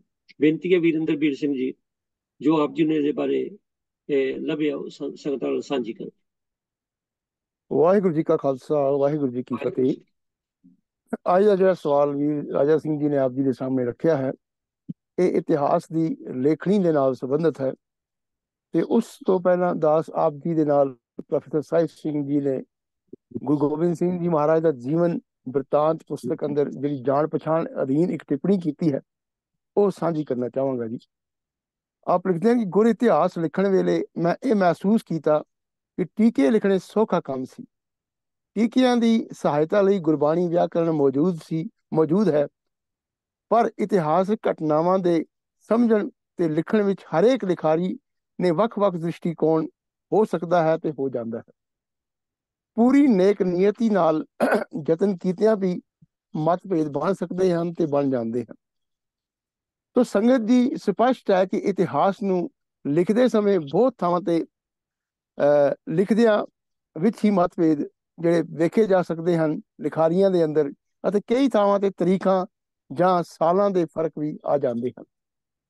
ਜਿਸ ਨਾਲ ਪੜਨ ਵਾਲੇ ਸਿੱਖਿਆਰਥੀਆਂ, ਵਿਦਿਆਰਥੀਆਂ ਇੱਥੋਂ ਤੱਕ ਕਿ ਪ੍ਰਚਾਰਕਾਂ ਨੂੰ ਕਈ ਤਰ੍ਹਾਂ ਦੇ ਸਵਾਲਾਂ ਦੇ ਜਵਾਬ ਸਮੇਂ ਰਹਿੰਦੇ ਪੁੱਛੇ ਜਾਂਦੇ ਹਨ ਤੇ ਜਿਨ੍ਹਾਂ ਦੀ ਵੱਖ ਇੱਕ ਇੱਕ ਮਿਹਨਤ ਵਾਲਾ ਵਿਸ਼ਾ ਬਣ ਜਾਂਦਾ ਹੈ ਇਹਨਾਂ ਨੂੰ ਉੱਤਰ ਦੇਣ ਵਾਸਤੇ। ਸੋ ਅੱਜ ਦੇ ਸਵਾਲ ਵਿੱਚ ਵੀ ਅਨੰਦਪੁਰ ਸਾਹਿਬ ਦਾ ਕਿਲਾ ਛੱਡਣ ਦੀ ਤਰੀਕ ਦੇ ਬਾਰੇ ਪੁੱਛਿਆ ਗਿਆ ਕਿ ਇਹ 5 ਦਸੰਬਰ ਸੀ, ਕਈਆਂ ਨੇ ਲਿਖਿਆ ਹੈ। ਤੇ ਅਸੀਂ ਜੋ ਮਨਾਉਂਦੇ ਹਾਂ 22 ਦਸੰਬਰ ਤੋਂ ਸਹੀ ਕਈ ਤਰੀਕ ਹੈ।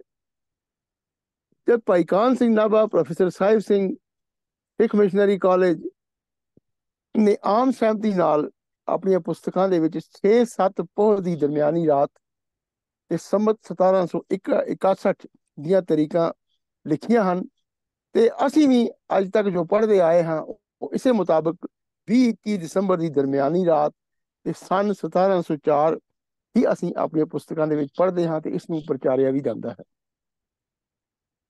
ਪਰ ਪ੍ਰੋਫੈਸਰ ਸਾਹਿਬ ਸਿੰਘ ਜੀ ਇਸ ਬਾਰੇ ਜੋ ਲਿਖਦੇ ਹਨ, ਉਸ ਨੂੰ ਪੜ੍ਹਨਾ ਮੈਂ ਇੱਥੇ ਆਪ ਜੀ ਦੇ ਸਾਹਮਣੇ ਜ਼ਰੂਰੀ ਸਮਝਦਾ ਹਾਂ। ਆਪ ਲਿਖਦੇ ਹਨ ਕਿ 6-7 ਪੋਹ ਦੀ ਵਿਚਕਾਰਲੀ ਰਾਤ ਸੀ। ਈਸਵੀ ਸਨ ਦੇ ਹਿਸਾਬ ਦਸੰਬਰ ਮਹੀਨੇ ਦਾ ਪਹਿਲਾ ਹਫਤਾ ਸੀ। ਗੁਰੂ ਗੋਬਿੰਦ ਸਿੰਘ ਜੀ ਸਾਰੇ ਸਾਥ ਸਮੇਤ ਰਾਤ ਦੇ ਪਿਛਲੇ ਪੈਰ ਆਨੰਦਪੁਰ ਨੂੰ ਸਦਾ ਲਈ ਛੱਡ ਕੇ ਕੀਰਤਪੁਰ ਚਲੇ ਗਏ। ਇੱਥੇ ਪ੍ਰੋਫੈਸਰ ਸਾਹਿਬ ਸਿੰਘ ਨੇ ਜੋ ਲਿਖਿਆ ਹੈ ਕਿ ਦਸੰਬਰ ਦੇ ਪਹਿਲੇ ਹਫ਼ਤੇ ਦਾ ਜ਼ਿਕਰ ਕੀਤਾ ਹੈ, ਜੋ ਸੰਭਾਵਕ ਤੌਰ ਤੇ 5 ਦਸੰਬਰ ਵੀ ਹੋ ਸਕਦਾ ਹੈ।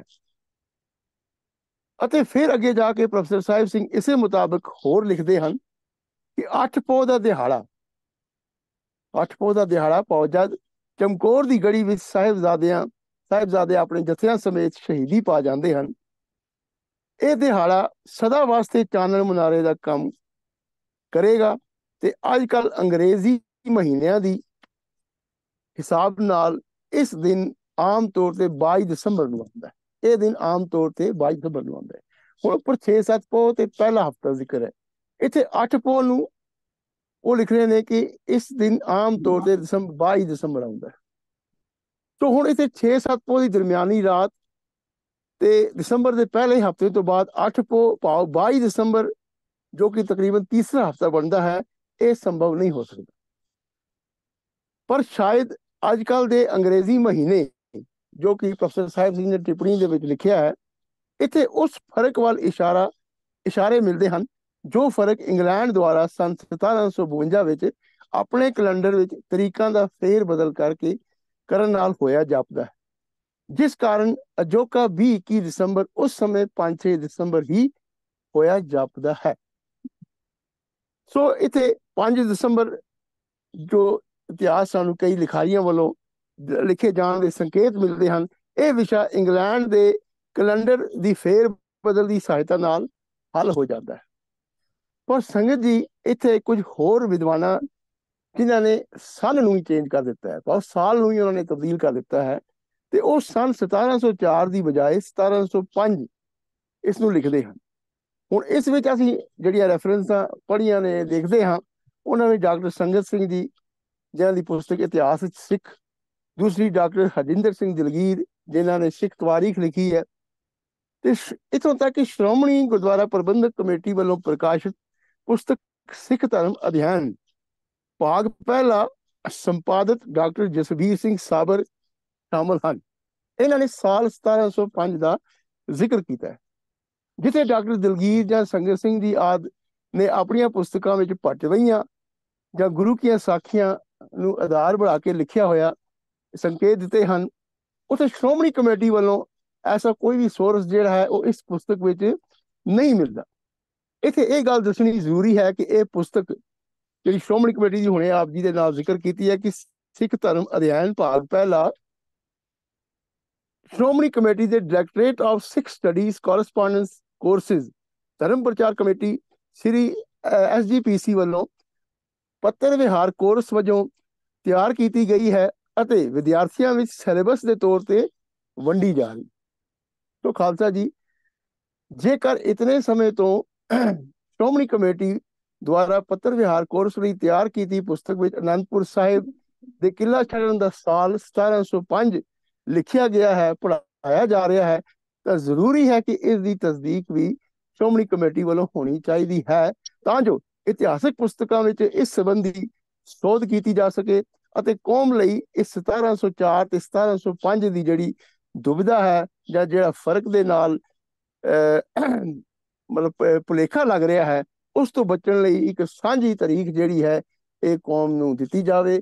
ਤਾਂ ਜੋ ਇਹ ਉਪਰਾਲਾ ਜਿਹੜਾ ਇਸ ਪੁਸਤਕ ਦੇ ਵਿੱਚ ਕੀਤਾ ਗਿਆ, ਸ਼੍ਰੋਮਣੀ ਕਮੇਟੀ ਵਾਲੇ ਵੱਲੋਂ ਕੀਤਾ ਗਿਆ ਹੈ ਤੇ ਪੂਰੀ ਕੌਮ ਨੂੰ ਇਸ ਦਾ ਜਿਹੜਾ ਲਾਭ ਹੈ, ਇਹ ਹੋ ਸਕੇ। ਸੋ ਇਹ ਜਾਣਕਾਰੀ ਜਿਹੜੀ ਦਾਸ ਨੂੰ ਮਿਲੀ ਸੀ, ਆਪ ਜੀਆਂ ਦੇ ਨਾਲ, ਪੈਨਲ ਦੇ ਨਾਲ ਮਿਲ ਕੇ ਦੱਸ ਰਹੇ ਹਾਂ ਜੀ। ਫਿਰ ਵੀ ਸੰਗਤ ਜੀ, ਜੇ ਆਪ ਜੀਆਂ ਦੇ ਕੋਲ ਇਸ ਤੋਂ ਵੀ ਹੋਰ ਕੋਈ ਅਹ, ਜਾਣਕਾਰੀ ਇਸ ਸੰਬੰਧੀ ਮਿਲੇ ਤਾਂ ਜ਼ਰੂਰ ਸਾਂਝੀ ਕਰਨੇ ਜੀ ਵਾਹਿਗੁਰੂ ਜੀ ਕਾ ਖਾਲਸਾ ਵਾਹਿਗੁਰੂ ਜੀ ਵਾਹਿਗੁਰੂ ਜੀ ਕੀ ਫਤਿਹ। ਧੰਨਵਾਦ ਹੈ ਵੀਰੇਂਦਰਬੀਰ ਸਿੰਘ ਜੀ। ਤੋਂ ਸੰਗਤ ਜੀ ਜਿਸ ਤਰ੍ਹਾਂ ਆਪ ਜੀ ਨੇ ਸੁਣਿਆ ਕਿ ਸ਼੍ਰੋਮਣੀ ਗੁਰਦੁਆਰਾ ਪ੍ਰਬੰਧਕ ਕਮੇਟੀ ਵੱਲੋਂ ਅਗਰ ਉਹ ਕਿਤਾਬ ਛਾਪੀ ਹੈ ਪਰ ਆਮ ਜਿਹੜੇ ਹਾਲਾਤਾਂ 'ਚ ਸ਼੍ਰੋਮਣੀ ਗੁਰਦੁਆਰਾ ਪ੍ਰਬੰਧਕ ਕਮੇਟੀ ਜਿਹੜੀ ਹੈ ਉਹ 22 ਦਸੰਬਰ ਦੀ ਗੱਲ ਕਰਦੇ ਨੇ ਔਰ ਸ਼ਹੀਦੀ ਹਫ਼ਤਾ ਵੀ ਉਹਦੇ ਮੁਤਾਬਕ ਮਨਾਉਂਦੇ ਨੇ। ਤਾਂ ਇਹ ਗੱਲਾਂ ਜਿਹੜੀਆਂ ਨੇ ਸਪਸ਼ਟ ਹੋਣੀਆਂ ਚਾਹੀਦੀਆਂ ਨੇ ਸਾਡੇ 'ਚ ਬਹੁਤ ਸਾਰੀਆਂ ਇਹੋ ਜਿਹੀਆਂ ਹੋਰ ਵੀ ਅਹ, ਸਾਡੇ ਸਮਝੋ ਸਿਸਟਮ ਵਿੱਚ ਤਰੁੱਟੀਆਂ ਨੇ ਜਿਹੜੀਆਂ ਸੰਗਤ 'ਚ ਭੁਲੇਖੇ ਪੈਦਾ ਕਰ ਸਕਦੀਆਂ ਨੇ। ਤੇ ਇਹਨਾਂ ਚੀਜ਼ਾਂ ਦਾ ਫੈਸਲਾ ਹੋਣਾ ਚਾਹੀਦਾ ਪਰ ਇੱਕ ਨਹੀਂ ਹੁਣ ਇਸ ਵੇਲੇ ਸਮਾਂ ਨਹੀਂ ਆਪਾਂ ਗਣੀਏ। ਬੜੇ ਅਨੇਕਾਂ ਹੋਰ ਪੰਥਕ ਮਸਲੇ ਨੇ ਜਿਹੜੇ ਸਾਡੀ ਸਰਮੋਰ ਕਮੇਟੀ ਨੂੰ ਇਹਨਾਂ ਦਾ ਹੱਲ ਕਰਨਾ ਚਾਹੀਦਾ ਪਰ ਉਹ ਜਿੱਦਾਂ ਹੈ ਉਸੇ ਤਰ੍ਹਾਂ ਚੱਲੀ ਜਾ ਰਿਹਾ ਇਸੇ ਤਰ੍ਹਾਂ ਇਹ ਹੁਣ ਇੱਕ ਬੜਾ ਤਗੜਾ ਕਨਫਿਊਜ਼ਨ ਹੈ। ਜਿੱਥੋਂ ਡੇਟ ਦੀ ਗੱਲ ਸੀ ਉੱਥੇ ਨਾਲ ਹੀ ਡੇਟ ਤੇ ਚਲੋ ਉਹ ਕੈਲੰਡਰ ਦੀ ਗੱਲ ਕਰਕੇ ਜੇ ਥੋੜੀ ਬਹੁਤੀ ਜੋ ਮੰਨ ਲਈ ਜਾਏ, ਪਰ ਪੂਰਾ ਇੱਕ ਸਾਲ ਦਾ ਜਿਹੜਾ ਫ਼ਰਕ ਪਾਇਆ, ਉਹਦੇ ਬਾਰੇ ਤਾਂ ਜ਼ਰੂਰ ਸਪਸ਼ਟ ਹੋਣਾ ਚਾਹੀਦਾ। ਤੋ ਸਾਨੂੰ ਜਾਗਰੂਕ ਹੋਣ ਦੀ ਲੋੜ ਹੈ। ਲੋੜ ਹੈ ਕਿ ਅਸੀਂ ਆਪ ਵੀ ਕੋਸ਼ਿਸ਼ ਕਰੀਏ ਰਿਸਰਚ ਕਰਨ ਦੀ, ਇਹ ਕਿੱਥੇ ਗੱਲ ਜਾ ਕੇ ਜਿਹੜੀ ਪਹੁੰਚਦੀ ਹੈ। ਤੋ ਮੈਂ ਤਾਂ ਇਹੀ ਕਹਾਂਗਾ ਕਿ ਸਾਡੀ ਕੌਮ ਦੀ ਤਰਾਸਦੀ ਹੈ ਕਿ ਇੰਨੇ ਮਤਲਬ ਵੀ ਚਾਰ ਸਦੀਆਂ ਤੋਂ ਜ਼ਿਆਦਾ ਸਮਾਂ ਲੰਘਣ ਦੇ ਬਾਅਦ ਵੀ ਅਸੀਂ ਇਸ ਚੀਜ਼ ਦਾ ਫੈਸਲਾ ਨਹੀਂ ਕਰ ਸਕੇ। ਜਿਵੇਂ ਪਹਿਲੇ ਕਿ ਇੱਕ ਨਹੀਂ, ਇੱਥੇ ਤੇ ਅਨੇਕਾਂ ਚੀਜ਼ਾਂ ਨੇ ਜਿਨ੍ਹਾਂ ਦੇ ਫੈਸਲੇ ਪੈਂਡਿੰਗ ਪਏ ਨੇ, ਜਿਹੜੇ ਹੋਣੇ ਨਹੀਂ ਚਾਹੀਦੇ। ਖੈਰ, ਸਤਿਗੁਰੂ ਕਿਰਪਾ ਕਰਨ ਤੋਂ ਵੀਰ ਜੀ ਦਾ ਧੰਨਵਾਦ ਹੈ। ਜੋ ਇਨਫੋਰਮੇਸ਼ਨ ਮਿਲ ਸਕੀ ਹੈ, ਉਹ ਦਿੱਤੀ ਹੈ। ਜਿਸ ਤਰ੍ਹਾਂ ਉਹਨਾਂ ਨੇ ਕਿਹਾ, ਹੋਰ ਕਿਸੇ ਕੋਲ ਵੀ ਇਸ ਬਾਰੇ ਇਨਫੋਰਮੇਸ਼ਨ ਹੋਏ ਤਾਂ ਕਿਰਪਾ ਕਰਕੇ ਅੱਜ ਜਾਂ ਬਾਅਦ ਵਿੱਚ ਸਾਨੂੰ ਦੱਸਣ ਦੀ ਕਿਰਪਾਲਤਾ ਕਰੋ। ਤੋ ਸੰਗਤ ਜੀ, ਆਓ ਹੁਣ ਸਮਾਂ ਦੌੜ ਰਿਹਾ ਪਰ ਇੱਕ ਸਵਾਲ ਮੈਂ ਬੇਨਤੀ ਕਰਾਂਗਾ ਸਾ ਮਨਿੰਦਰਪਾਲ ਸਿੰਘ ਜੀ ਨੂੰ ਕਿ ਉਹ ਸੰਖੇਪ ਵਿੱਚ ਸਾਨੂੰ ਦੱਸ ਦੇਣ ਕਿ ਜਿਸ ਵੇਲੇ 1699 ਦੀ ਵਿਸਾਖੀ ਦਾ ਪਰਬ ਮਨਾਇਆ ਗਿਆ ਗੁਰੂ ਗੋਬਿੰਦ ਸਿੰਘ ਮਹਾਰਾਜ ਜੀ ਉਸ ਵੇਲੇ ਤਰੀਕ ਸੀਗੀ 30 ਮਾਰਚ ਤੇ ਅੱਜ ਕੱਲ ਮੈਂ ਵੀ ਦੇਖਦਾ ਕਿ ਪਹਿਲੇ 13 ਮਾਰਚ 13 ਅਪ੍ਰੈਲ ਹੁੰਦੀ ਹੁੰਦੀ ਸੀ, ਹੁਣ ਅੱਜ ਕੱਲ ਕਾਫੀ ਸਮੇਂ ਤੋਂ 14 ਅਪ੍ਰੈਲ ਆ ਗਈ ਹੈ, ਇਹ ਤਰੀਕਾਂ ਬਦਲ ਗਈਆਂ ਨੇ ਸਵਾਲ ਕਰਤਾ ਨੇ ਪੁੱਛਿਆ ਵੀ ਅਸਲ ਤਰੀਕ 30 ਮਾਰਚ ਸੀਗੀ, ਹੁਣ 14 ਅਪ੍ਰੈਲ ਨੂੰ ਕਿਉਂ ਆ ਗਈ ਹੈ? ਤੇ ਇਹਦੇ ਬਾਰੇ ਕਿ ਸਾਨੂੰ ਥੋੜਾ ਜਿਹਾ ਚਾਨਣਾ ਪਾਓ ਜੀ ਮਨਿੰਦਰ ਮਨਿੰਦਰਪਾਲ ਸਿੰਘ। ਵਾਹਿਗੁਰੂ ਜੀ ਕਾ ਖਾਲਸਾ ਵਾਹਿਗੁਰੂ ਜੀ ਕੀ। ਫਤਿਹ। ਜਿਵੇਂ ਥੋੜਾ ਜਿਹਾ ਜ਼ਿਕਰ ਸਰਦਾਰ ਇੰਦਰਵੀਰ ਸਿੰਘ ਜੀ ਨੇ ਵੀ ਆਪਣੇ ਸਵਾਲ ਦੇ ਜਵਾਬ ਵਿੱਚ ਕੀਤਾ ਹੈ ਕਿ 1752 ਵਿੱਚ ਇੰਗਲੈਂਡ ਵੱਲੋਂ ਕੈਲੰਡਰ ਦੇ ਵਿੱਚ ਕੁਝ ਫੇਰ ਬਦਲ ਕੀਤਾ ਗਿਆ ਸੀਗਾ। ਤੋਂ ਉਹੀ ਚੀਜ਼ ਇਸ ਸਵਾਲ ਦੇ ਨਾਲ ਵੀ ਜੁੜਦੀ ਹੈ। ਹਾਲਾਂਕਿ ਜਿਹੜਾ ਪ੍ਰਸੰਗ ਸੀਗਾ ਪਿਛਲੇ ਸਵਾਲ ਦਾ ਉਹਦੀ ਐਕਸਪਲੇਨੇਸ਼ਨ ਉਸ ਚੀਜ਼ ਦੇ ਨਾਲ ਪੂਰੀ ਬੈਠਦੀ ਨਹੀਂ ਹੈ। ਕਾਰਨ ਇਹ ਹੈ ਕਿ ਜਿਹੜਾ 1752 ਦੇ ਵਿੱਚ ਇੰਗਲੈਂਡ ਨੇ ਕੈਲੰਡਰ ਚੇਂਜ ਕੀਤਾ ਸੀ, ਉਹਦੇ ਨਾਲ ਫ਼ਰਕ 13 ਦਿਨਾਂ ਦਾ ਪਿਆ ਸੀ। ਜਿਸ ਕਰਕੇ ਵਿਸਾਖੀ ਦੀ ਡੇਟ 30 ਮਾਰਚ ਵਾਲੀ ਉਹ 12 ਅਪ੍ਰੈਲ ਹੋ ਗਈ ਸੀ, ਸਨ 1752 ਦੇ ਵਿੱਚ। ਇਹਦੀ ਬੈਕਗ੍ਰਾਉਂਡ ਸਮਝਣ ਵਾਸਤੇ ਸੰਖੇਪ ਵਿੱਚ ਮੈਂ ਜ਼ਿਕਰ ਕਰ ਦਿਆਂ ਕਿ ਕੈਲੰਡਰਾਂ ਦਾ ਹਿਸਾਬ ਕੀ ਹੈ। ਵਿਸਾਖੀ ਦੇਖੋ ਜੋ, ਅਸੀਂ ਮਨਾਉਂਦੇ ਹਾਂ, ਉਹ ਦੇਸੀ ਮਹੀਨਿਆਂ ਦੇ ਵਿਸਾਖ ਦੀ ਪਹਿਲੀ ਤਰੀਕ ਹੁੰਦੀ ਹੈ। ਦੇਸੀ ਕੈਲੰਡਰ ਦੇ ਵਿੱਚ ਇਹ ਮਹੀਨੇ ਚੱਲਦੇ ਹਨ, ਚੇਤ, ਵਿਸਾਖ, ਜੇਠ, ਹਾੜ ਆਦਿ। ਤੇ ਵਿਸਾਖੀ, ਵਿਸਾਖ ਦੇ ਮਹੀਨੇ ਦਾ ਜਿਹੜਾ ਪਹਿਲੀ ਤਰੀਕ ਹੁੰਦੀ ਹੈ, ਉਹਨੂੰ ਅਸੀਂ ਵਿਸਾਖੀ ਦਾ ਪੁਰਬ ਕਰਕੇ ਮਨਾਉਂਦੇ ਹਾਂ। ਪਰ ਜਿਹੜੀਆਂ ਇਹ ਹੁਣ ਤਰੀਕਾਂ ਨੇ, ਜਿਹੜਾ ਕੈਲੰਡਰ ਅਸੀਂ ਅੱਜ ਵਰਤ ਰਹੇ ਹਾਂ, ਉਹਨੂੰ ਕਿਹਾ ਜਾਂਦਾ ਹੈ ਗ੍ਰੈਗੋਰੀਅਨ ਕੈਲੰਡਰ ਜਾਂ ਉਹਨੂੰ ਕਾਮਨ ਏਰਾ ਦਾ ਕੈਲੰਡਰ ਵੀ ਕਿਹਾ ਜਾਂਦਾ ਹੈ। ਇਹਨਾਂ 'ਚ ਫ਼ਰਕ ਕੀ ਹੈ? ਪਹਿਲਾਂ ਇਸ ਗੱਲ ਨੂੰ ਸਮਝਣਾ ਜ਼ਰੂਰੀ ਹੈ। ਦੇਸੀ ਮਹੀਨਾ ਜਿਹੜਾ ਹੈ, ਉਹ ਕੈਲੰਡਰ ਸੂਰਜ ਅਤੇ ਚੰਦਰਮਾ ਦੋਨਾਂ ਦੀ ਚਾਲ ਨੂੰ ਧਿਆਨ ਵਿੱਚ ਰੱਖ ਕੇ ਬਣਾਇਆ ਗਿਆ ਹੈ। ਉਹਦੇ ਵਿੱਚ ਹਰ ਮਹੀਨੇ ਦੇ ਚੰਦਰਮਾ ਦਾ ਜਿਵੇਂ ਆਪ ਜਾਣਦੇ ਹੋ, ਮਹੀਨਾ ਕਿਵੇਂ ਨਿਯਤ ਹੁੰਦਾ ਹੈ? ਉਹ ਨਿਯਤ ਹੁੰਦਾ ਹੈ, ਜਿੰਨੀ ਦੇਰ ਵਿੱਚ ਚੰਦਰਮਾ ਧਰਤੀ ਦਾ ਇੱਕ ਚੱਕਰ ਲਗਾਉਂਦਾ ਉਹ ਸਮਾਂ 29 ਦਿਨ ਦਾ ਤੇ ਜੇ 12 ਮਹੀਨੇ ਨੂੰ 29 ਨਾਲ ਗਿਣਤੀ ਕਰੀਏ, ਤਾਂ ਸਾਲ ਦੇ 354 ਦਿਨ ਬਣਦੇ ਜਿਸ ਹਿਸਾਬ ਨਾਲ ਜੋ ਸੂਰਜੀ ਸਾਲ ਹੈ ਯਾਨੀ ਜਿੰਨੇ ਸਮੇਂ ਦੇ ਵਿੱਚ ਧਰਤੀ ਸੂਰਜ ਦੇ ਦੁਆਲੇ ਇੱਕ ਚੱਕਰ ਪੂਰਾ ਕਰਦੀ ਹੈ ਉਹ 365 ਅਹ, ਦਿਨ ਤਕਰੀਬਨ ਐਕਚੁਅਲੀ 365 ਦਿਨ ਹੁੰਦੇ ਆ ਉਹ ਪੂਰਾ ਹੁੰਦਾ ਹੈ। ਉਹ ਜਿਹੜਾ ਦੇਸੀ ਕੈਲੰਡਰ ਹੈ ਉਹਦੇ ਵਿੱਚ ਚੰ드ਰਮਾ ਦੇ ਹਿਸਾਬ ਨਾਲ ਮਹੀਨਿਆਂ ਦੀ ਗਿਣਤੀ 12 ਕਰਨ ਦੇ ਨਾਲ ਸਾਲ ਦੇ 354 ਦਿਨ ਬਣਦੇ ਨੇ ਤੇ ਐਕਚੁਅਲ ਸੂਰਜ ਦੇ ਸਾਲ ਦੇ 365 ਦਿਨ ਬਣਦੇ ਨੇ। ਤਾਂ ਹਰ ਸਾਲ 11 ਸਵਾ 11 ਦਿਨ ਦਾ ਫ਼ਰਕ ਪੈ ਜਾਂਦਾ ਹੈ। ਉਹਨੂੰ ਨਿਬੇੜਨ ਵਾਸਤੇ ਉਹ ਹਰ 3 ਸਾਲਾਂ ਬਾਅਦ ਦੇਸੀ ਕੈਲੰਡਰ ਦੇ ਵਿੱਚ ਇੱਕ ਵਾਧੂ ਮਹੀਨਾ, ਜਿਹਨੂੰ ਲਾਉਣ ਦਾ ਮਹੀਨਾ ਕਹਿੰਦੇ ਆ, ਉਹ ਐਡ ਕਰ ਦਿੰਦੇ ਆ। ਤੇ ਫਿਰ ਉਹ ਤਕਰੀਬਨ ਬੈਲੈਂਸ ਹੋ ਜਾਂਦਾ ਹੈ।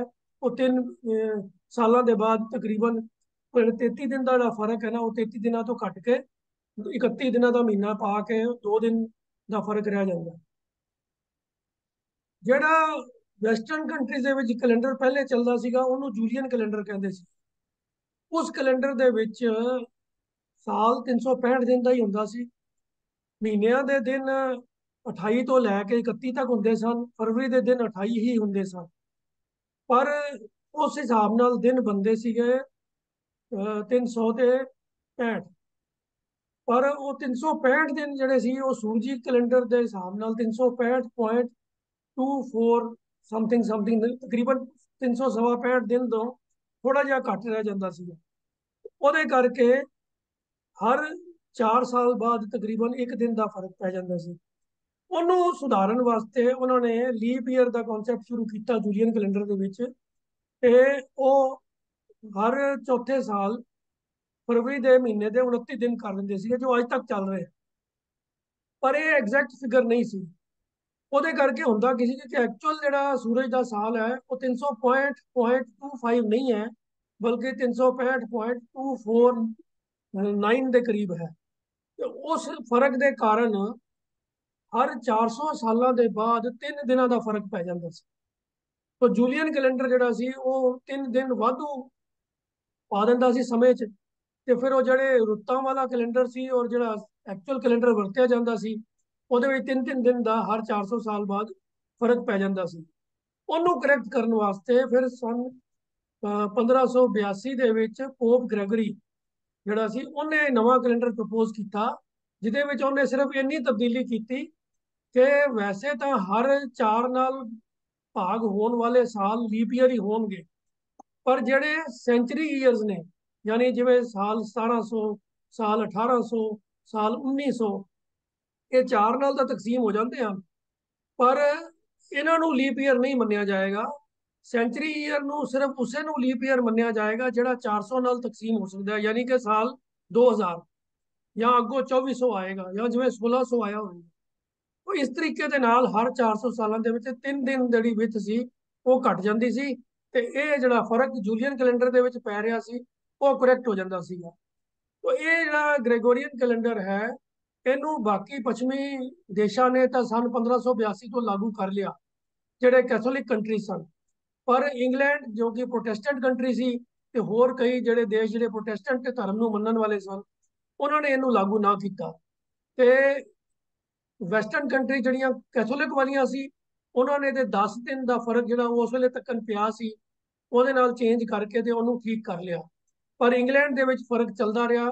ਅਖੀਰ ਸਨ 1752 ਦੇ ਵਿੱਚ ਜਾ ਕੇ ਉਹਨਾਂ ਨੂੰ ਫਿਰ ਇਹ ਹੋਸ਼ ਆਈ ਕਿ ਨਹੀਂ, ਇਹ ਕੰਮ ਤਾਂ ਠੀਕ ਕਰਨਾ ਹੀ ਪੈਣਾ ਤਾਂ ਉਹਨਾਂ ਨੇ ਫਿਰ 1752 ਦੇ ਵਿੱਚ ਜਦ ਤੱਕ ਕਿ ਫ਼ਰਕ ਹੁਣ 13 ਦਿਨ ਦਾ ਹੋ ਗਿਆ ਸੀ, ਤਾਂ ਉਹਨਾਂ ਨੇ 13 ਦਿਨ ਦੀ ਡੇਟਾ ਵਿੱਚੋਂ ਉਡਾ ਦਿੱਤੀਆਂ ਤੇ ਸਨ 1752 ਤੋਂ ਨਵਾਂ ਕੈਲੰਡਰ ਚਾਲੂ ਕੀਤਾ, ਜਿਹੜਾ ਗ੍ਰੈਗੋਰੀਅਨ ਕੈਲੰਡਰ ਸੀ ਤਾਂ ਉਹਦੇ ਨਾਲ ਹੁਣ ਕੀ ਹੋਇਆ ਕਿ ਜਿਹੜੀ 30 ਮਾਰਚ ਸੀ, ਉਹ 12 ਅਪ੍ਰੈਲ ਬਣ ਗਈ 13 ਦਿਨ ਦੇ ਫ਼ਰਕ ਦੇ ਨਾਲ।